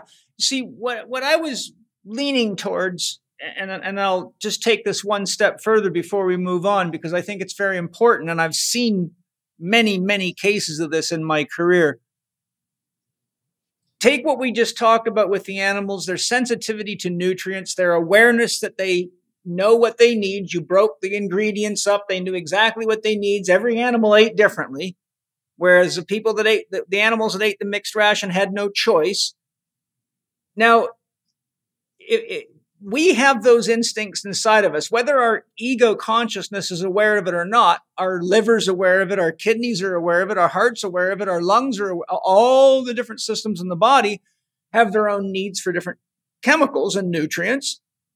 And so when you look at the rate of anxiety today and the rate of depression and the rate of uh, learning disorders and the rate of behavioral issues and the rate of uh, violence in in not only young people but adults.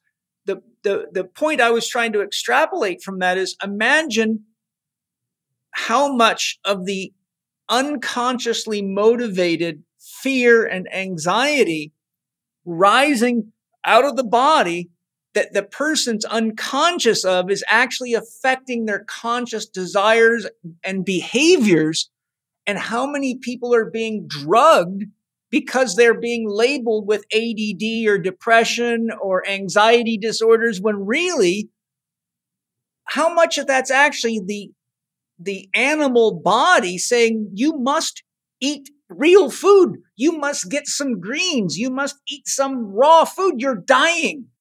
It, it, absolutely. It's a cry. It's a cry a scream for yeah, help. right, right in its own way. And then you think about so you grow your own food, we do too, and you know that when you grow it yourself, you try to find good varieties and it's picked ripe.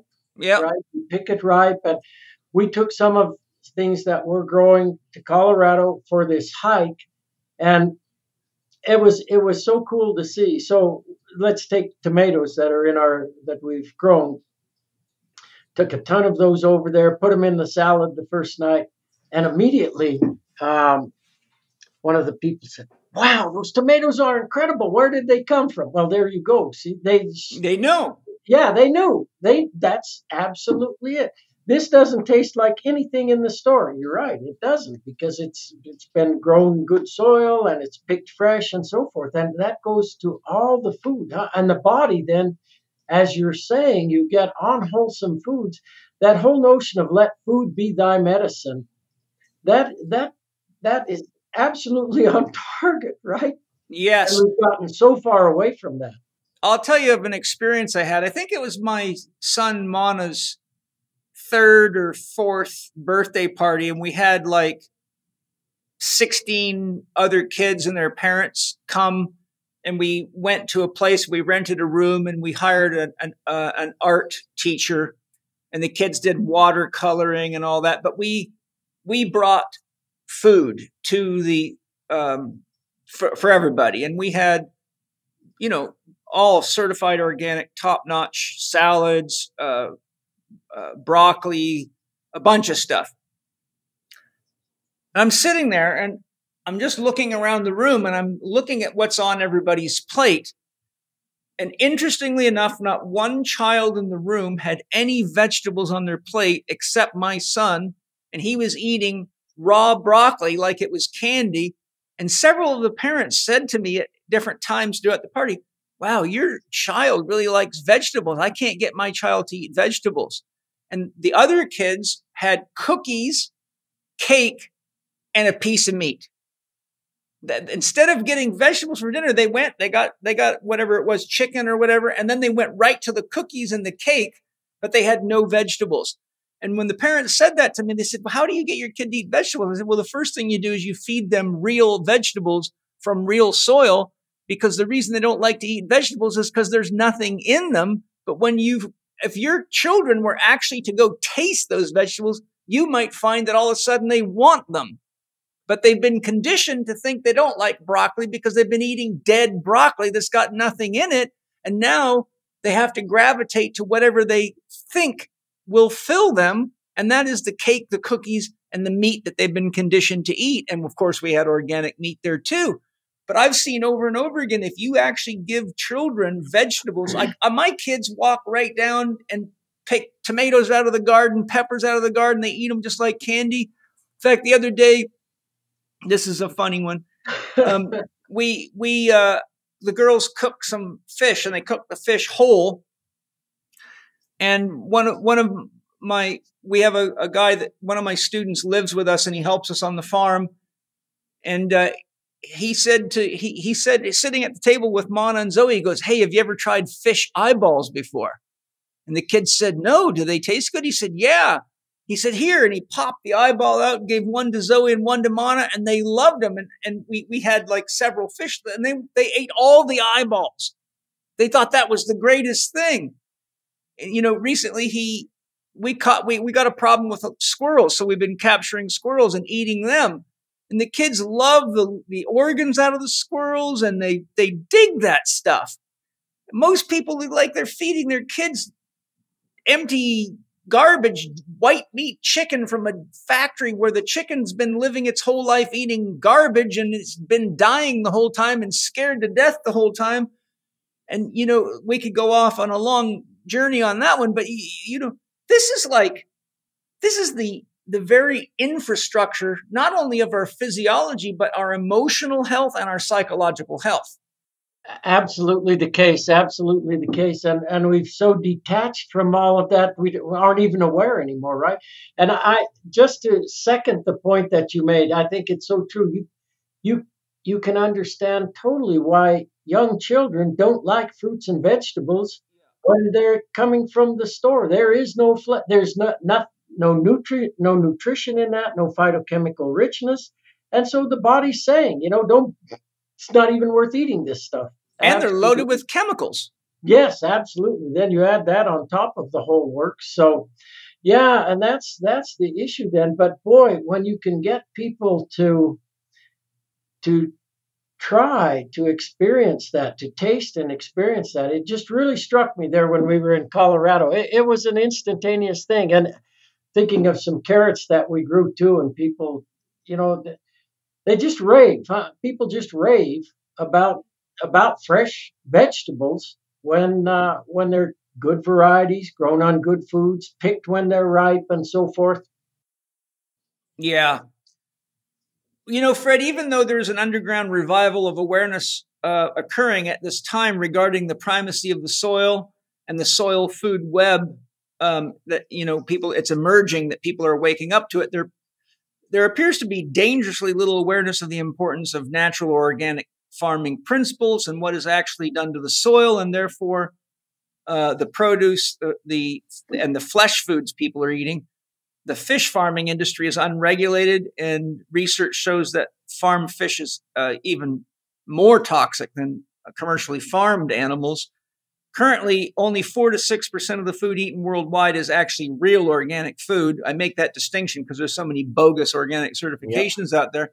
That means 94 to 96% of all the food eaten is not only dangerously toxic, but every dollar spent on such foods is contributing to the destruction of our topsoils and our ecosystems worldwide. So, can you share your thoughts on why this abortion of the truth of soil science, farming, and food production continues in the presence of sound research and evidence of the clear and present dangers to humanity and the nature and nature uh, due to these commercial approaches. In other words, we have all the science. It goes all the way back to the 30s and even back to the peasants. You, Rudolf Steiner talked about this. Rudolf Steiner was actually asked by the German government to intervene and help them figure out how to get nutrition back into the soil in the late 1800s before they were even using pesticides because they realized there was a nutritional problem. And that's how biodynamic farming got created. Now, here we are, you know, this is 2022.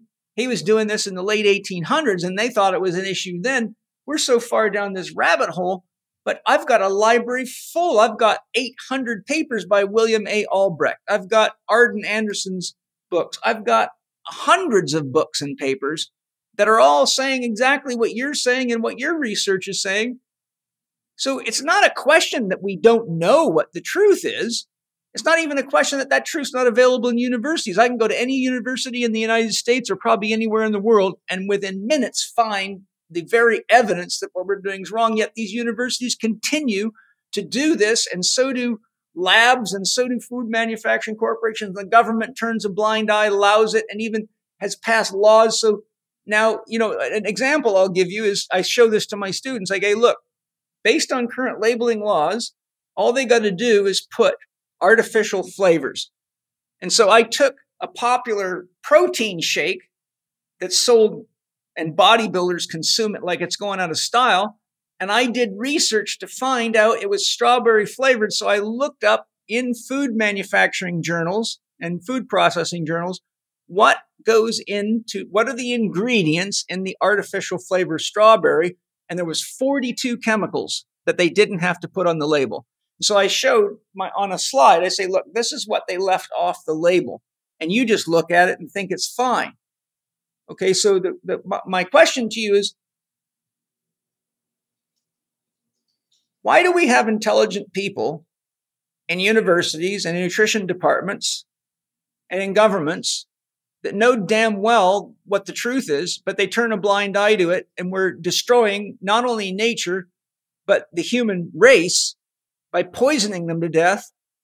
And this continues to happen. Yeah, it's it's a good question, Paul, and so many so many thoughts come to mind. I imagine so, especially with your mind. no, a lot come to mind. Let me tell a story that that kind of that I think about quite a lot. So we're living in Ennis, Montana nowadays, and we've been coming up here for maybe 50 years, like like many people, because of the the beauty of the state of Montana and the big rivers. And and coming we've been coming up here to fish the rivers. And the first time I fished the Madison River, roughly 50 years ago, um, a friend floated me down a stretch of the river and I probably I caught a lot of fish, a lot a lot of fish, virtually every cast catching fish and they were big big fish for me anyway. And I, I was just blown away that that there there was something like that. So we were living in Logan still at the time. I was working at Utah State University and I was talking to an old time fellow there, and I was raving about the rivers up here. And he said, You know, I can't even stand to go up there anymore. He said, My memory's too long. He said, You think the fishing's good now? You should have seen it 50 years ago. Wow. And now, so now we're 50 years on from when I first came up here. And my wife and I really can't stand to even float the river. It's just overrun with with guides, which I don't have anything personal against them, but there's just so many people fishing that river. And if you catch a teeny little fish, a few of them you've done well. The, so why do I tell that story? The point is, I have friends who come up here and they think, "Oh my gosh, it's incredible up here." You know, it's it's incredible, and uh, I think it's easy over time to get dumbed down, huh? In increments, in increments, in increments, in increments. And I think beginning with the Green Revolution back in the day, and they're thinking, you know, how do we feed eight to eleven billion people that are projected into into this century? And then the whole industrial farming and food system and practices really took over during our lifetimes, right? I mean, when mm-hmm. I was on the ranch and growing up, um, not long before that, animals were still being finished on pastures. Feedlot systems hadn't really taken off until after World War II and some of those things. So, but now I think it, people have been so dumbed down, and I don't think most people truly understand the huge influence of corporate, political, and academic interests in this whole business. And, you know, you're in academics and uh, you need to get research funding. And I saw many people as I went along that, that were heavily involved in research um, funded by corporate by corporate interests. And I think I think the researchers themselves too become you know, we get in silos in universities, right? We get into silos and you've got the different departments, whereas it really should be one big department that's looking at the world, right? And everything that's going on and thinking about all the interrelationships. But it's easy to get into silos and then you just keep burrowing in further and further and further into your particular sub discipline. And, uh, you know, I think that that can lead to, to much of what you, you're talking about. Jayne Buxton has a new book out, The Great Plant-Based Con, and it's really uh, it's a it's a great book. She did a great job with it. But there's a chapter in there in particular that she asked me to review as she was working on the book titled Follow the Money. And we're all aware of this money business, right? In a yeah. general sense, and even some specifics. But boy, oh boy, did she did she, does she that book's out now? Does she bring that home in terms of of what happens with all this all this business of of of following the money and so forth. And that book's out in audiobook, she told me too. What's it called? The Great Plant Based Con. Uh, right on. Hi, everybody. I'm excited to share Cymbiotika's new molecular hydrogen supplement. I don't know if you've studied molecular hydrogen at all, but Dr. Mercola is very big on it, has a number of articles about it. It is a very good free radical scavenger, so it helps protect against oxidative stress, which is a real important thing in our environment today. And some people find that it helps with recovery and improves athletic performance. I've known people who have used it and told me it definitely enhanced things like their deadlift, particularly their performance when doing things like 5Ks and 10Ks molecular hydrogen is made of hydrogen. Hydrogen, you might remember, H2O is the key component next to oxygen in the water molecule. So it's very, very abundant in water throughout our body. But when you take it in this way, it's able to do other things that it can do when it's not coupled with oxygen directly. So it's a very, very hot product out right now. A lot of people speak very highly of it. So, with the benefits of free radical scavenging, and reducing oxidative stress and potential benefits for enhanced recovery and athletic performance, it's probably a really good thing to give a try because the worst thing that can happen is you'll have a lot better health and better athletic performance. To get 15% off this product and all the other amazing products by Cymbiotika, go to cymbiotika.com and use the promo code L4D15 at checkout. That's cymbiotika.com, C Y M B I O T I K A.com, with the promo code capital L, the number 4, capital D, and the number 1 5. Let me also mention a couple of other things that uh, we'll see how far we want to go on this. There's so many facets that strike me, but you know, this whole idea of bias, bias in research, and then outright deception in research. Those two things, you know, it's hard.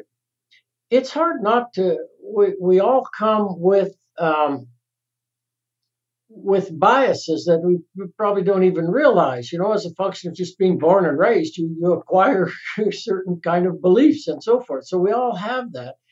And as you mentioned earlier, one of the strengths of science is really trying to separate those biases from from data, huh? and trying to to design experiments that um, that really do good tests of, of scientific hypotheses, not that are trying to to just support some some idea, and uh, or some corporation and so forth but but it's a challenge. And you know you develop you develop hypotheses about how the world's working. And i think one of the strengths of science is this idea that you can never prove a theory. You you're, you're always all you can do is disprove them. That keeps you in this mode of humility. It's meant to keep you in the mode of you know you never can prove anything ultimately in science, in, in terms of a theory, you're always open. And you realize then that there's always limitations. I think of physics in that sense, you know, all the work that Einstein did on special and then general theory of relativity and, and how powerful that is, but it's still limited. And quantum, quantum mechanics and what they've learned.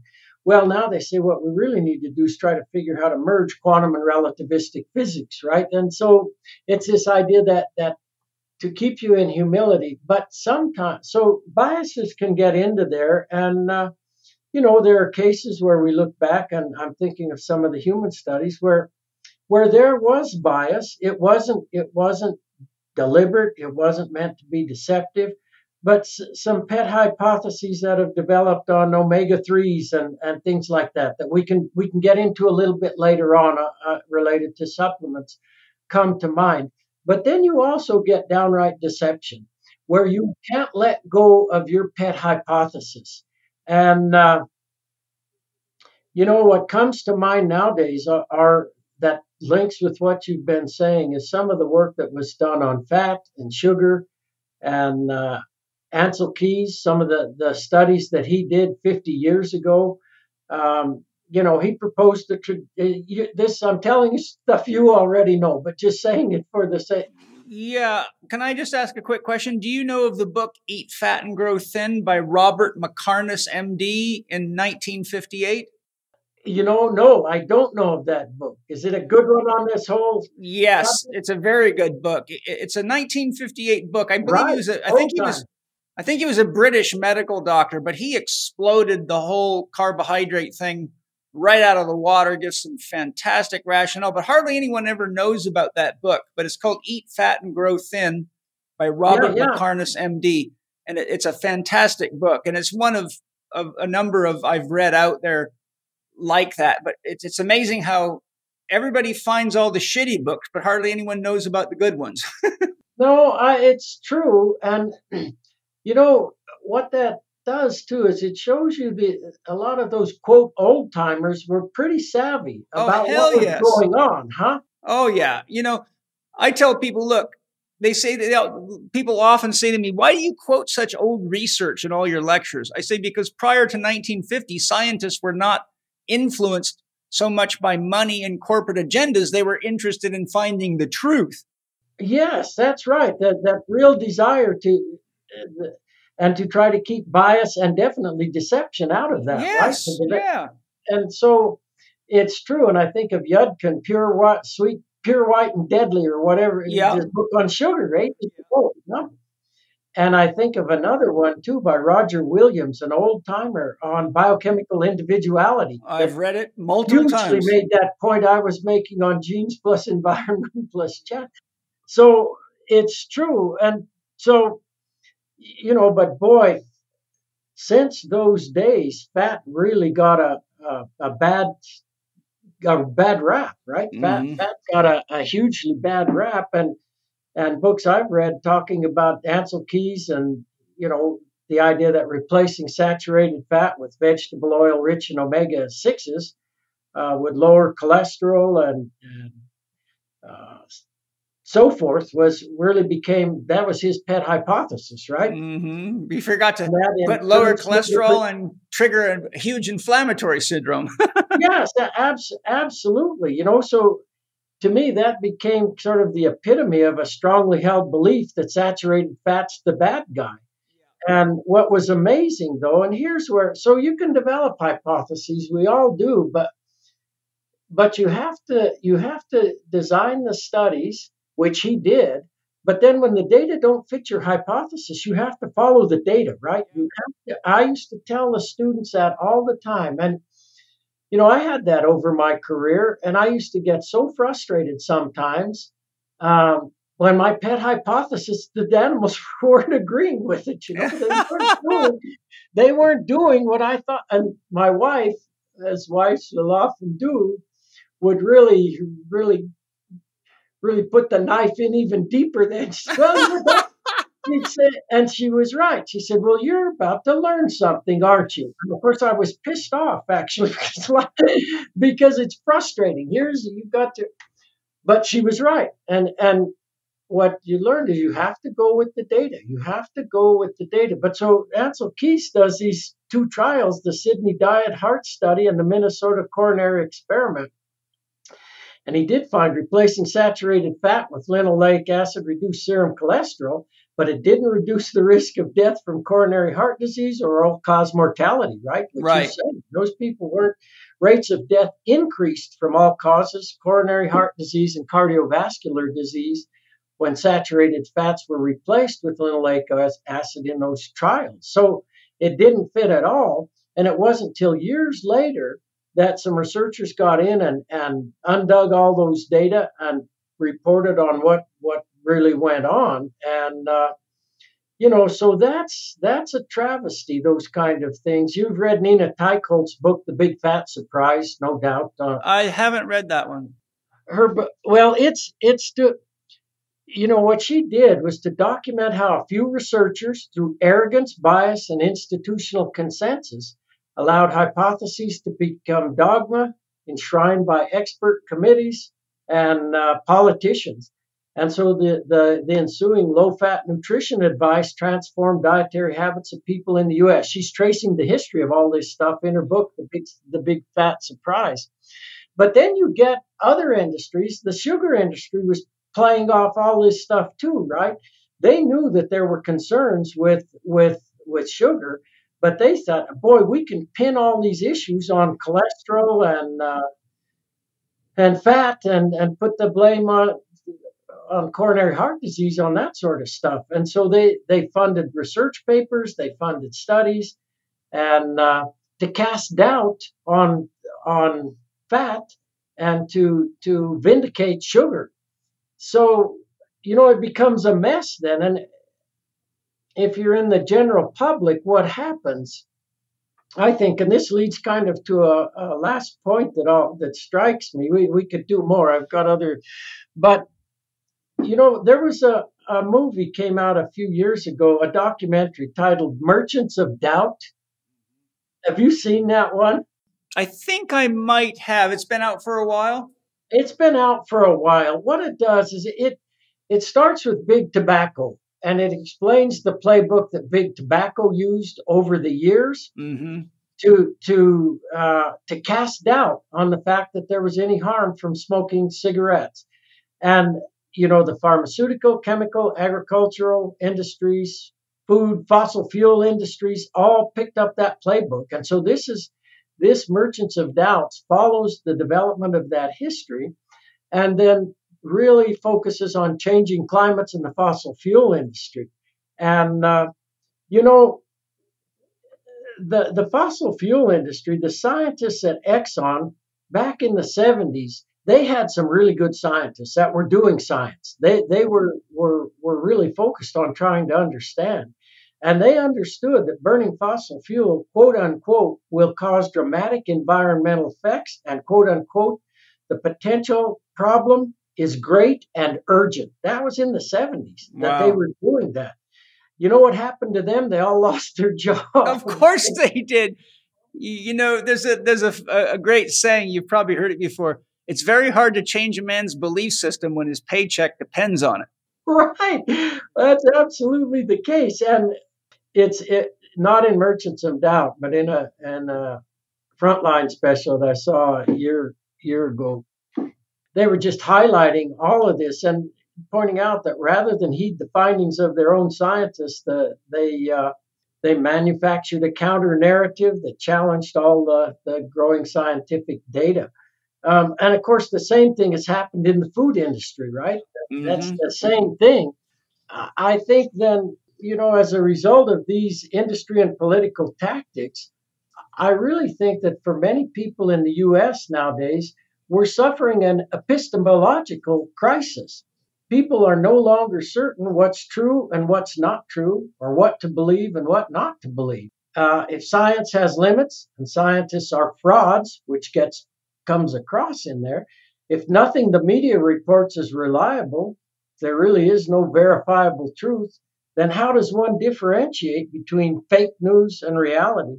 At that point, there is no objective reality out there for people to agree upon, just what you believe and the biased beliefs of others who disagree with you. I think we're really in a tough spot that way in terms of not only food, but, but virtually everything ecologically, economically, socially, politically. I think we're in a we're in a in a not very good spot nowadays in that sense. No. Are you familiar with the books by Harvey Levenstein? Yes, I've, some yeah. Revolution at the Table and Paradox of Plenty? Yes. Those are some very eye-opening books. Yes, they are. They certainly are. He talks about I, when was it? I think it was. Uh, I think it was during the Second World War when they had bread lines, and they kept telling people there was a meat shortage. He shows that cattle farmers were directed by the United States government and pig farmers, and they killed six billion cattle and pigs and dumped them into rivers to get rid of them while the public was told that there was a, a meat shortage, which they used for to, to then drive them to bread lines. And the rationale behind it was they did not want people dependent on government handouts. So they only wanted to give them as little as possible to support them. But meanwhile, billions of dollars worth of animals were killed and, and thrown into rivers and wasted. Yeah, absolutely the case. I mean, this this this is the kind of stuff the public doesn't know, and and this this kind of information is critical to understand right now, especially since COVID started, because people that believe what they're being told by mainstream media and by social media do not realize that their minds are being hijacked. And and and this is my point in bringing that up is you know, we're talking about stuff that's been going on since all the way back beginning, you know, in the 60s, particular, even a little earlier with the, and that's what Harvey uh, Levenstein lays out in, in uh, Paradox of Plenty and Revolution at the Table. He gives you the entire history of this whole thing. And when you, when you start looking at how much corruption there is going on and how much ulter- ulterior motives, it's wake up, pay attention, or you are going to be a sick, diseased person that's highly profitable and your life is going to be shit. You know? Yeah, a- absolutely, absolutely the case. And that, that in turn really puts the onus on the individual to sort of as we were saying from the ranch standpoint to to to you've got to be looking out for yourself in that sense and to realize that that there's all this hijacking that's going on, huh? Yeah. Corporate, political, academic kinds of things that that are that are taking place. That uh, yeah, you you've got to take responsibility for yourself, which means you've got to really get involved in in trying to figure out what's what. You know, my my students often say to me, Paul, how do you know the truth? And I say it's not that hard get naked and stand in front of the mirror. Your body never lies. Neither do your emotions, neither does your mental performance. Never judge a man by the creed he or she professes, but by the life he or she leads. If you go to sick doctors for health advice, you're not going to get healthy. You go to broken therapists to get your body fixed up, you're not going to get fixed up. You're just going to get a, a, a palliative band aid. You know, pay attention to what your body's telling you. Learn to listen to your instincts, use your senses, and participate in the responsibility of having a body. Absolutely, absolutely, Paul. And I think, and realizing that your body is unique, and so it's up to you to to tune into all of that, right? Yeah, I mean, in principle, you can say what you said, and that's right on in terms of what to do. But in practice, then, or and in practice, then, I would say your body's unique, so you've got to take the responsibility for that, right? Yes. I recently had heard a conversation, and I know this from a transgenerational standpoint of of uh, people that I very much like, but the, comes from generations back, very authoritarian kind of, you know, this is the way it is. You do it this way. That's it. Not, not much leeway for you to. Sounds like I Fauci. Could that, I could see that in these three generations as they were talking and we were doing. I don't want to get too specific, but and there. So here's the youngest generation, ten year old, and uh, the one is the the mother saying one thing, and then the the grandfather is is saying things and it's all pretty authoritarian and saying well you know i found that this is the way to do and i just love that this this young kid said but i'm not you but i'm not you and yeah there you go you know it's recognizing that that then the, you know you take responsibility for this this body right that you yes Yeah. Yeah, so I'll, I'll move to our, our next point, which we have covered a fair bit of, but I'll, I'll I want to share some of the facts and figures that, that are here because I think a lot of people are completely and utterly clueless to what I'm about to unveil. I know you're not, but um, Fred, most people are oblivious to the dangerous chemicals put onto and into their food by corporate farming conglomerates and unconscious, unconscious farmers worldwide. I was recently researching the amount of pesticides, herbicides, fungicides, and rodenticides being used worldwide today for my new book that I'm writing.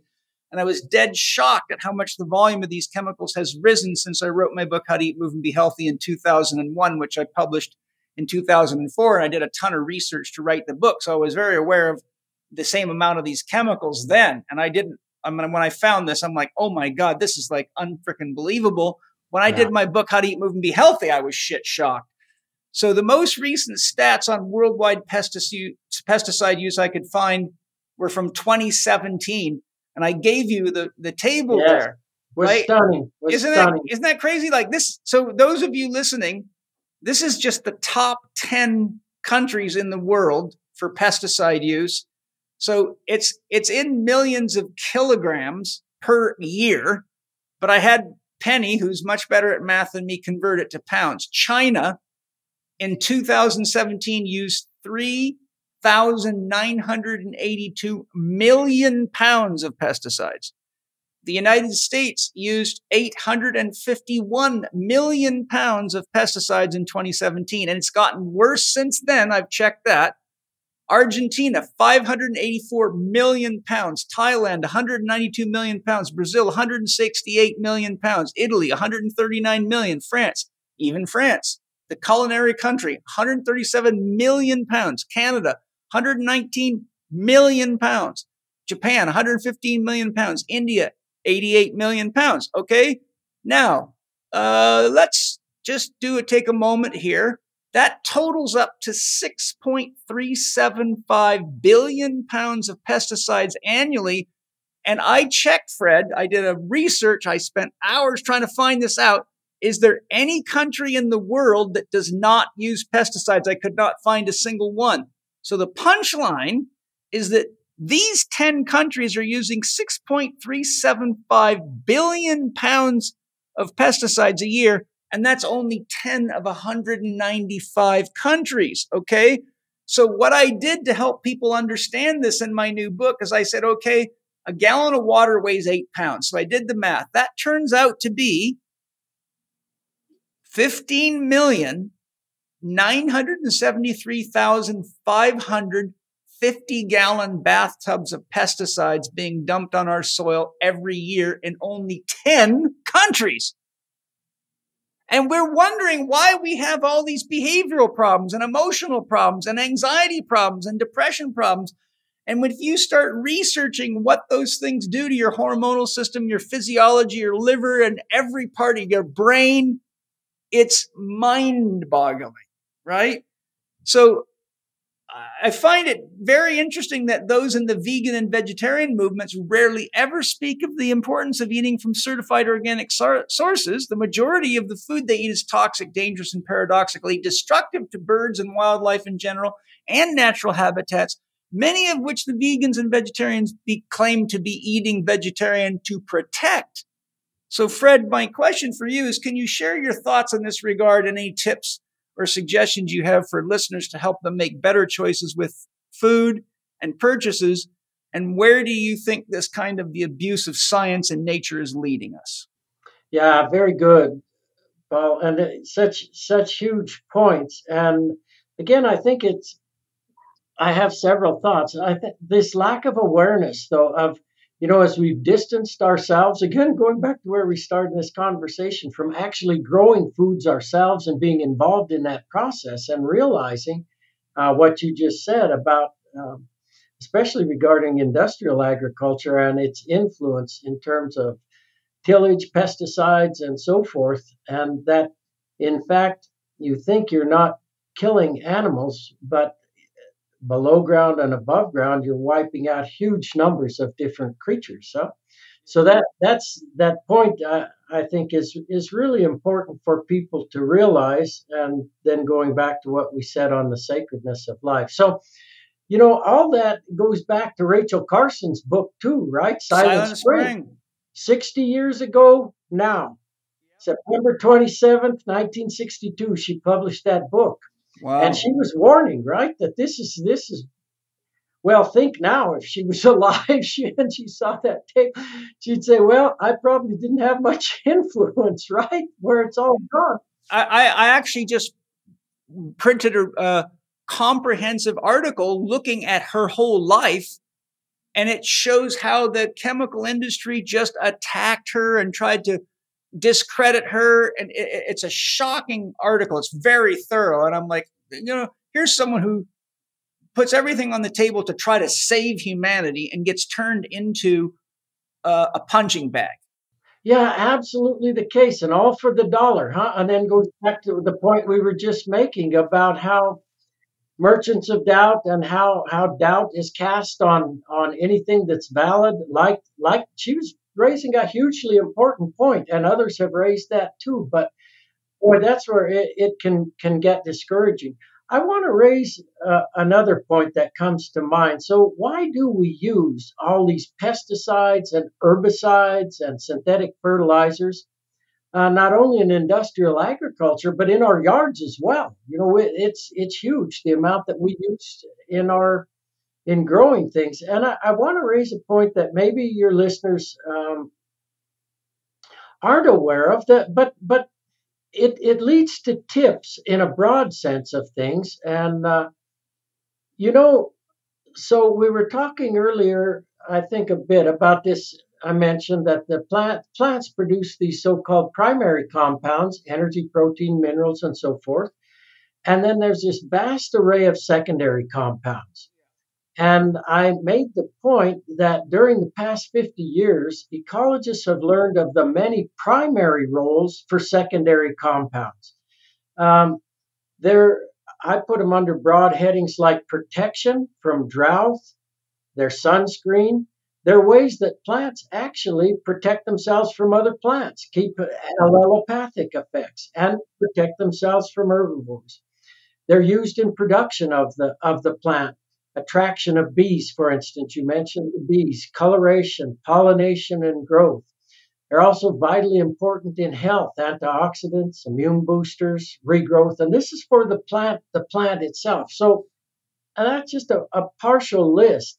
Now, here's what I find really interesting is that at the same time ecologists were learning of the values of these secondary compounds, agronomists were reducing their concentrations in both pasture plants for livestock to graze and um, in crops. So, why did they do that? From the standpoint of pasture plants, we really took on an agronom, agronomic kind of viewpoint. Let's get the total mixed ration for pasture plant. Let's figure out a plant that has really high levels of growth and uh, we'll grow those in monocultures and we'll fatten animals out there on, on those pastures on these monocultures. Why did why did they do that? Why did and in the process then we've got to reduce the concentrations of these secondary compounds. Why is that the case?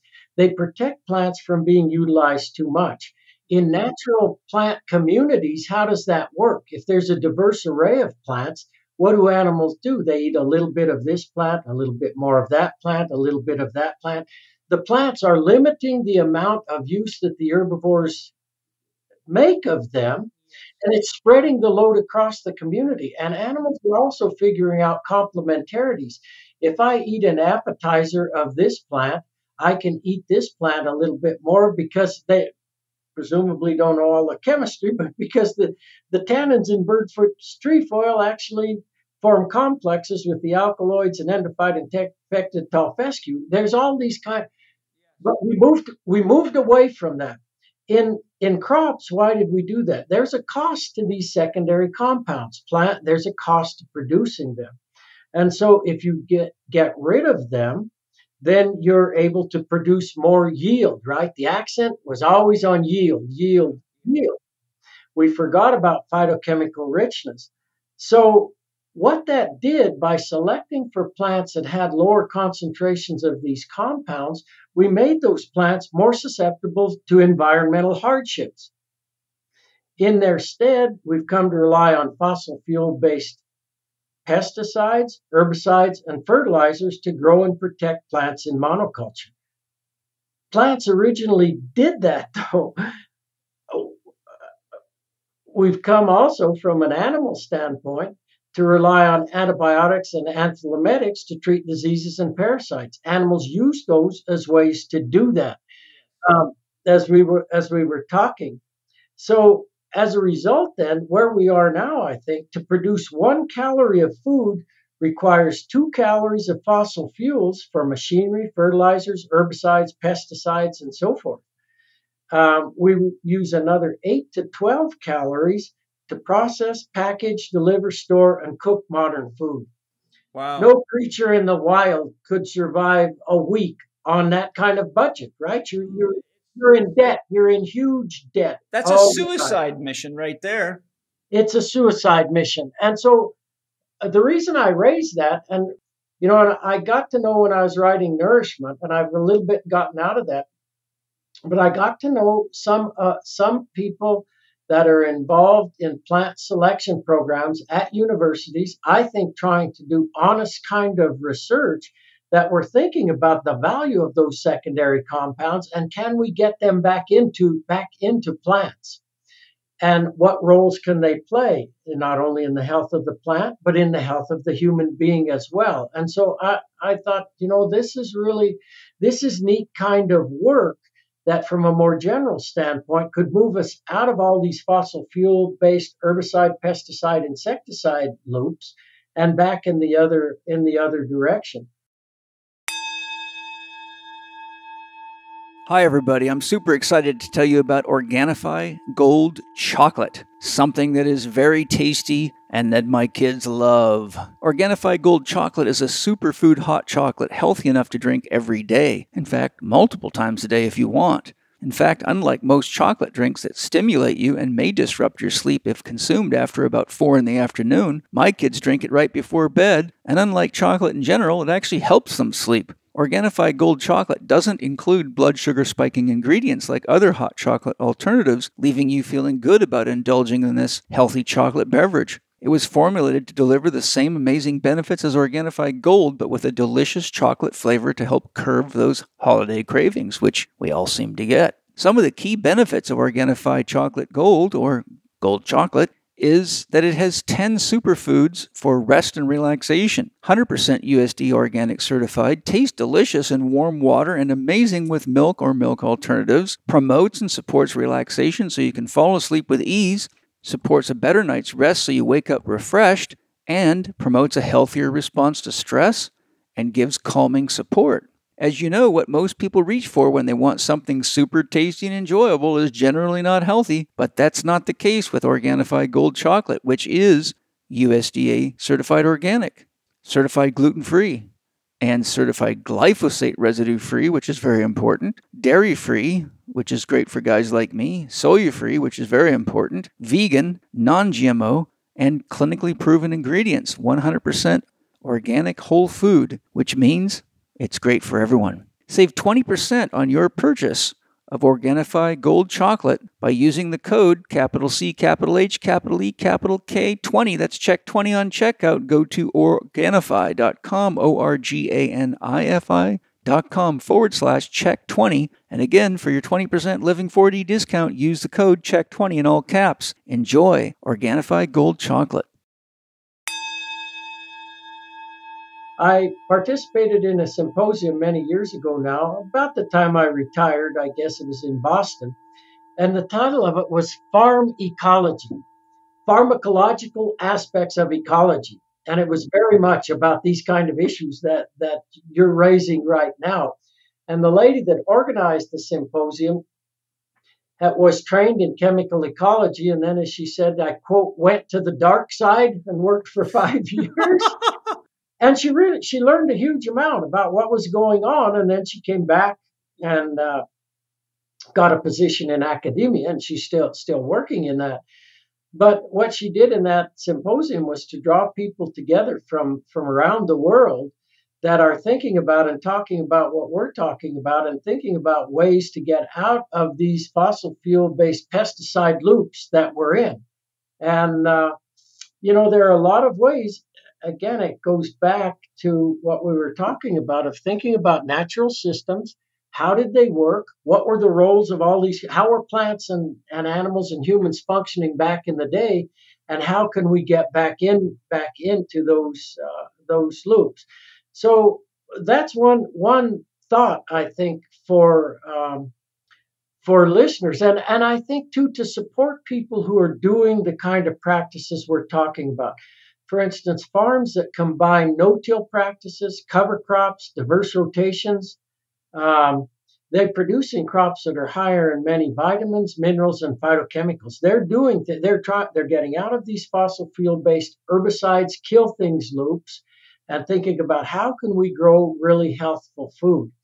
And there are some long-term ecological studies that show when you have diverse arrays of plants uh, that are phytochemically rich, you increase um, you increase the nutrient content hugely. You know this, and you've talked about it, but you increase huge nutrient content hugely for for herbivores as well as for human beings. You're also much better able to build up carbon, 30 to 90% more water and nutrient holding carbon in those soils. And so, this whole idea of plant diversity, the value of plant diversity for the health of plants and for life below ground and above ground becomes very, very important. And the ability of those soils then to to fix, to create life and to fix um, to fix carbon in the soil. You know, listeners may or may not know that nutrient inputs from living roots are 2 to 13 times more efficient than litter inputs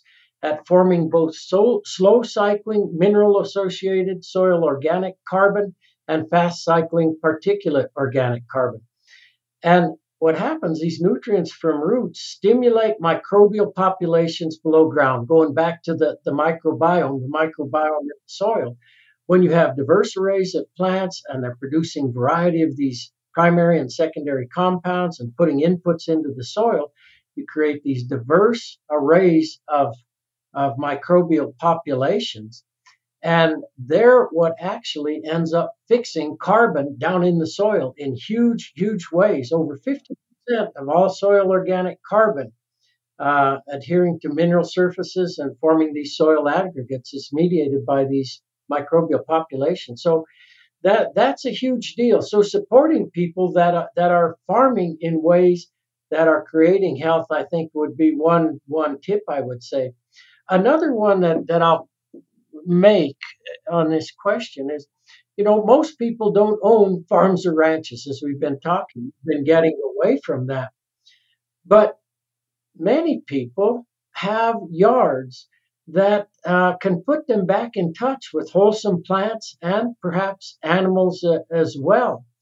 Um, so i always tell people now if possible and i know everybody's busy and blah blah blah but try to in some way raise your own raise your own food grow vegetable herbal medicinal gardens perhaps even have a few chickens and encourage native plants to grow on your land as well. Get away um, from these resource intensive um, things that we're doing. Here's some figures for you and they're a bit i'm sure there's even more now but when I wrote Nourishment, over 30,000 tons of synthetic pesticides at a cost of well over 2 billion, uh, not to mention all the herbicides and fertilizers are used to weed and feed our lawns. We're not talking wow. our lawns, over 30,000 tons. It's figures like you're saying. Over 800 million gallons of gasoline. The gas spilled alone refilling lawnmowers is 17 million gallons here in the U.S. wow. Year. 1.57 times more than the amount spilled by the Exxon Valdez off That's the shore of crazy. It's crazy. Now, here's the one I think about all the time now in the arid West. Residual water use outside the home is 30 to 60% of total water use. depending on the estimate, seven to nine billion gallons of water are used each day for suburban irrigation.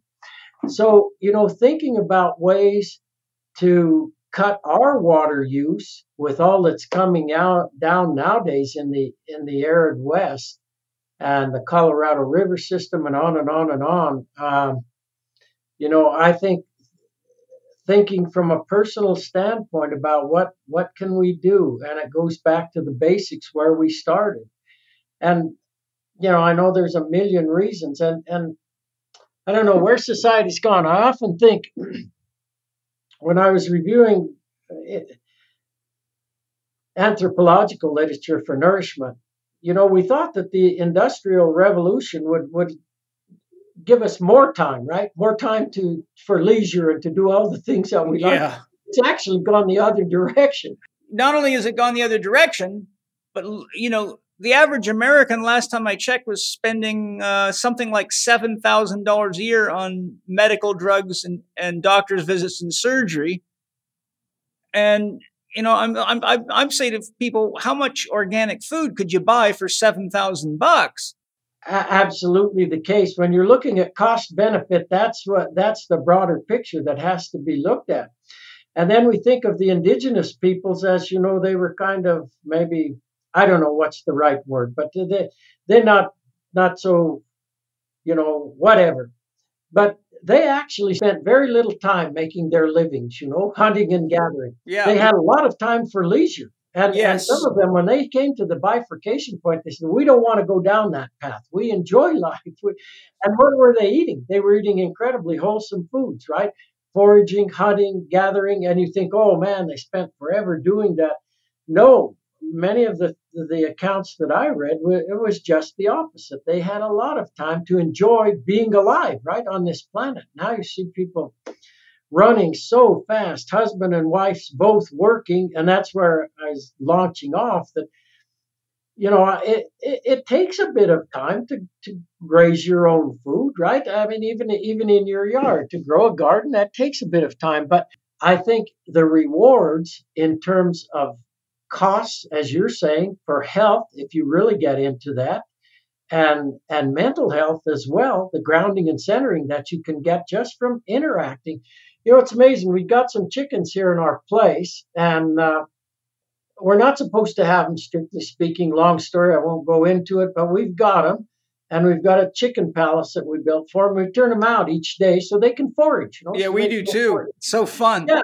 It's fun, and you know, you might think, "Well, what could be more boring?" But no, it's have, great. I, they're so they're so have, interesting. It is, and we have people from the city who come here. To quote the city, and it's amazing they love to do they love to sit there. they say it's so calm it's so peaceful it's so you know and just watching those birds pick here and pick there and they come across the grasshopper and they chase it there and so forth and you know and it's interesting so we designed this chicken palace with all these things in mind of how the chickens would maybe use it and little roost in this part of the house we made and it, was so interesting to see how they end up you know, they much prefer the rafters that I built to the little roost. And just it's that idea that that they're not that creatures aren't idiots that you were talking about earlier. That that there there's a tremendous amount of knowledge and in plants as well, but you have to tune in and you have to pay attention and you have to you have to get on chicken time, right? You have to get on chicken time, you have to get on broccoli time. And then you start to you start to quiet quiet this ego ego chatter that's in the mind and you start to realize i'm no different from that chicken or that goat or if you get into plants 20 senses or more that they possess and you know we think we're so clever and it goes back to the herbicide part of this discussion you know there's what 596 herbicide resistant plants on the planet now Oh my God, that's so plants dangerous. Are, plants are the ultimate biochemists. You know, we yeah.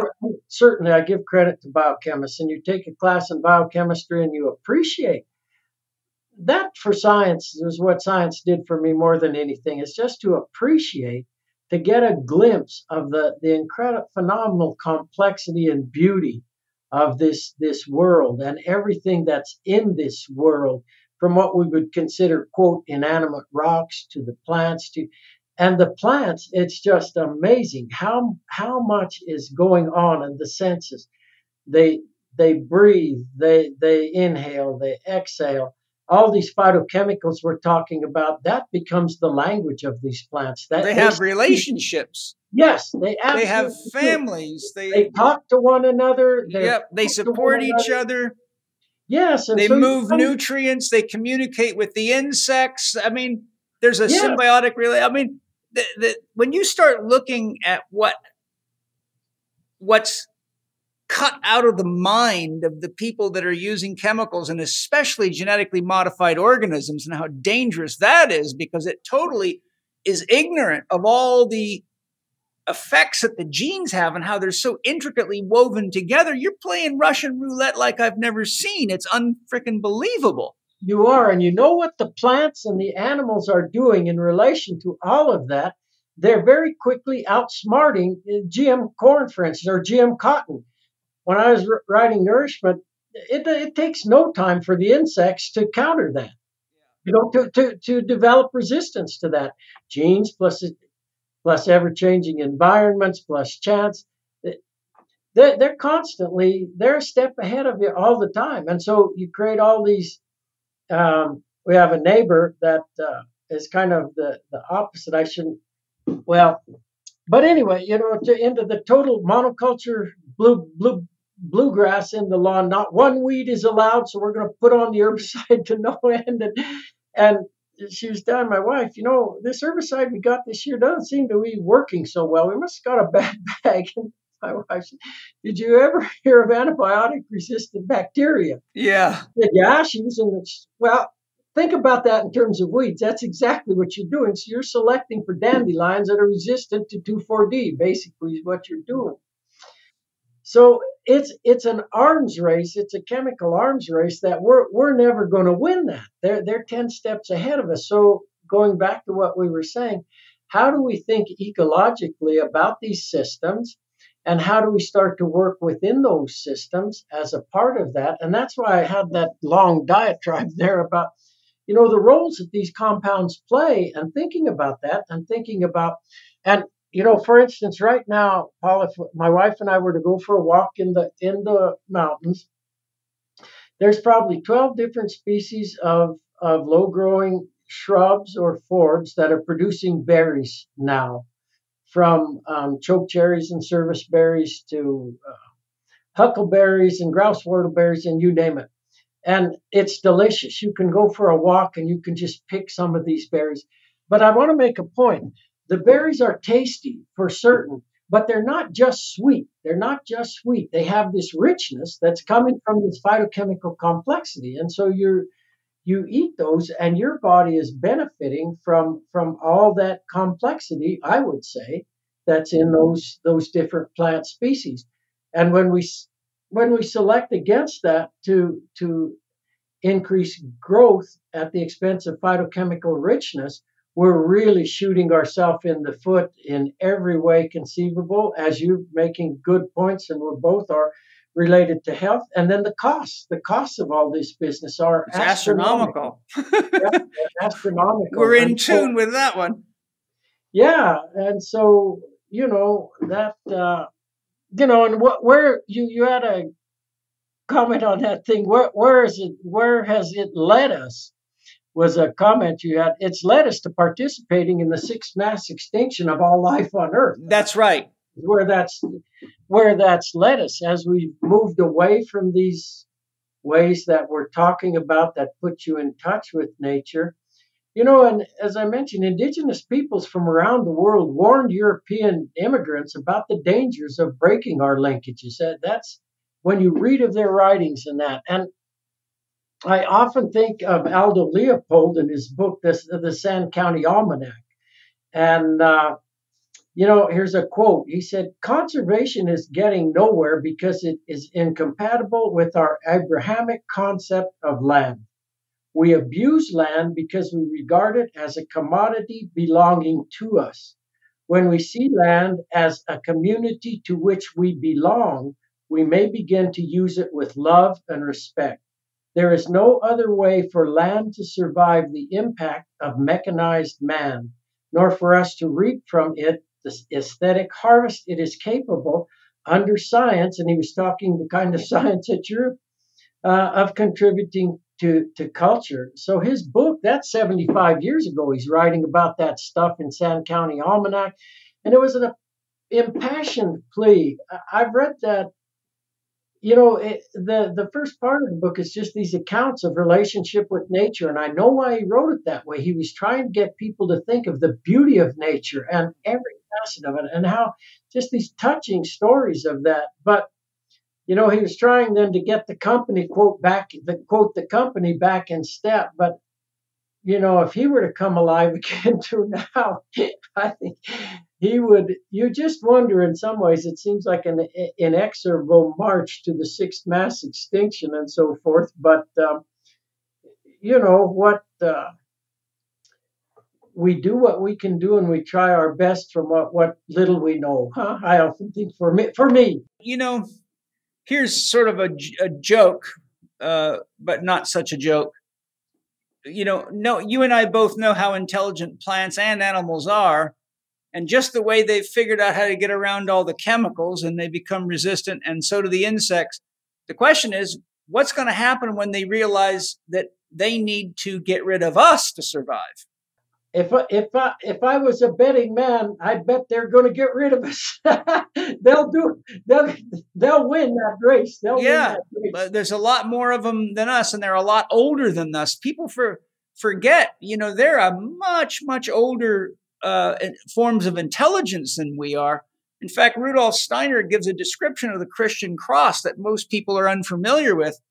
He says if you take the cross that's planted in the ground from the ground up, he said, well, the earth that it's planted in represents the soil and the life of the soil. From the ground to the horizontal beam represents the plant kingdom. The horizontal beam represents the animal kingdom, and from the horizontal beam up represents the human head. So he says, what you don't realize about that cross is a story of the evolution of man, and you are all that. And if you forget that, you're in big trouble. Amen. Amen to that. Makes me think of some of the writings of Stephen Jay Gould, too, talking about the little tiny things that really have been dominant on this earth forever. There's a few, few quote, bigger creatures that come and go, but they don't last long. 99.9% of them that have ever been here are gone now. Yes. And we shouldn't we shouldn't in our hubris think that that can't happen to us either, right? no, yeah, absolutely. I have a friend who likes to say, "Don't ever say this can't happen to me." You know, when I'm yes. saying for us as a species, that's that's hubris to the max, huh? Yes. Are you familiar with the book 10,000 Years, A Metabolic Man 10,000 Years from Eden by Charles Heiser Worthen? No, it sounds like a fabulous book. It is. It's a fantastic book. He's a naturalist and he gives extensive research and he did a lot of research on how much time did it take the average hunter gatherer society to meet their food needs from hunting and gathering? He calculated that the average hunter gatherer society could eat, meet their food, hunting and gathering needs in about three to three and a half hours a day. And that's absolutely what I was reading in the anthropological literature that I reviewed. Maybe I came across some of his as well and didn't the name didn't stick, but yeah, that's that and and they enjoy they were able this what strikes me is they were able to to so much enjoy simply being alive and a part on this planet as opposed to just running running running constantly. Is it any wonder that there's so much emotional and physical stress and and illness? Huh what a, the life we the life we live. He makes some other interesting points i'd like to share with you in the audience. He says he says, while the parents of the children, the young adults, were out hunting and gathering, the children were left with the grandparents, who were the wisest, eldest people in the tribe, who were responsible for educating the children because they had the most empathy, compassion, and wisdom, and they knew how to raise children because they had the most life experience. And then when the mothers and fathers came back from hunting and gathering, they spent the rest of the day having fun, doing arts and crafts, singing, dancing, and enjoying life. Amen. I, I think that's such a such a hugely important point that I, I love to make. So I mentioned earlier that that these domestic and wild creatures end up in extended families. There's relationships within those families and so forth. And I often think that same thing and talk about it. You know, when you've made the point, but it's you know that value of extended family and and parents and grandparents and the roles that they play. I think when I grew up in Salida, this little town of Salida, it was still a community. It's not now. That's all gone. All that's gone. But so we had extended family. We had our parents, but we had the great aunts, the grandparents. And it's amazing to me. I've always thought how much um, I gravitated to those older people and how much I listened to them, you know, their stories and what it was like. It was no cognitive, rational, analytical kind of thing. It was just like an, a, a heart level connection to them. And they were so calm always, so calm and so wise. The parents were, were busy and so forth. And and then there was the broader the broader relationships of the families with other families and I tell you, it just it, it was amazing to grow up in that in that community. Um, you've probably heard the story of those Italian immigrants from Ro- Roseto Valfortore. Have you heard that story? Not sure. No, I don't. Not sure. It's making the same points that we're making. Um, they were from Italy and they came, I think, to Pennsylvania years ago, and uh, they they they had incredibly powerful community. Um, the the men worked in the quarries, the women in, in dress shops, and and the the what gets emphasized is just how tight knit the community. Every night the church bells would ring. They'd all gather. They'd cook these foods that, according to some modern nutrition advice, were horrible for you, you know, and, and so forth. Um, but they were all they had very little cardiovascular disease. They they they were fine. And then they had this they had this wish for their children to grow up and and uh, you know and, and become members work members of society. Uh, how do you say it? And and their dream got fulfilled. All the children grew up, moved away from the town they were living in, their incidence of heart disease and everything went right up to the national population. Oh, yeah. You know, it's it's a neat story. It's a neat story, but it it, it emphasizes that that value of community and uh,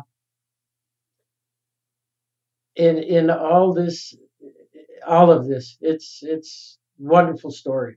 Well, Fred, it's been a phenomenal journey. We've had almost three hours. It's gone by in a flash for me, and I'm just absolutely enamored and so um, taken by your stories. And I just feel like I'm I'm with the wise elders that were that are missing in the world, and I I get to benefit from all your life experience and wisdom. And you know, we're only on question five of the dialogue points that I had of fifteen.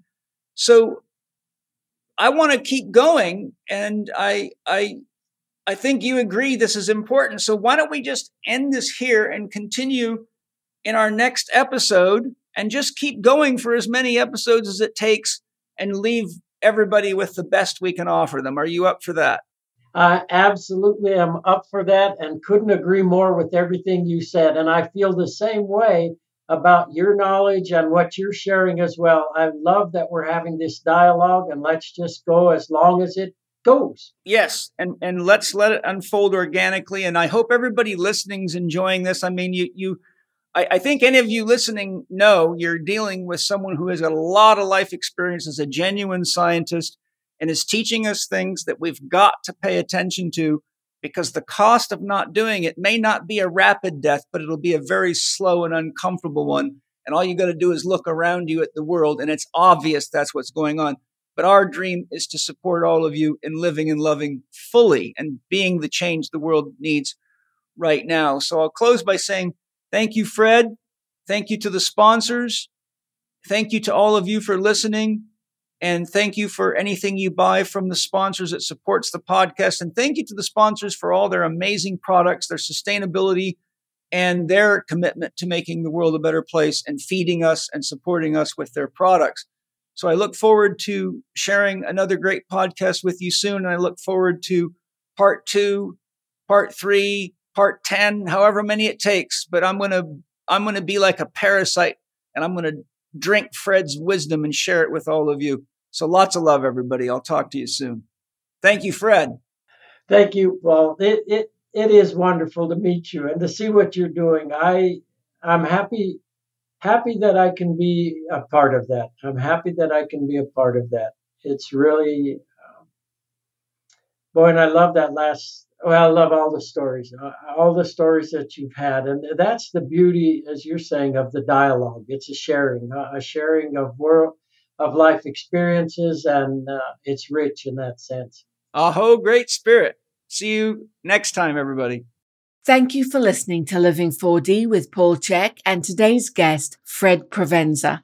You can learn more about Fred's work through his books, Nourishment, What Animals Can Teach Us About Rediscovering Our Nutritional Wisdom, Foraging Behavior, Managing to Survive in a World of Change, and The Art and Science of Shepherding, Tapping the Wisdom of French Herders, which are all available on Amazon.com and all good booksellers. Follow Paul on Instagram and TikTok at paul.chek, on Twitter at paulchek, or on his YouTube podcast channel, youtube.com forward slash living4d with Paul Chek. You can also watch more on Paul's blog at paulcheksblog.com or visit the Chek Institute site at chekinstitute.com to find Paul's e-learning courses, advanced training programs, and learn more about the Chek Academy. You can read the show notes and find links to the resources mentioned in this episode at chekinstitute.com forward slash podcast.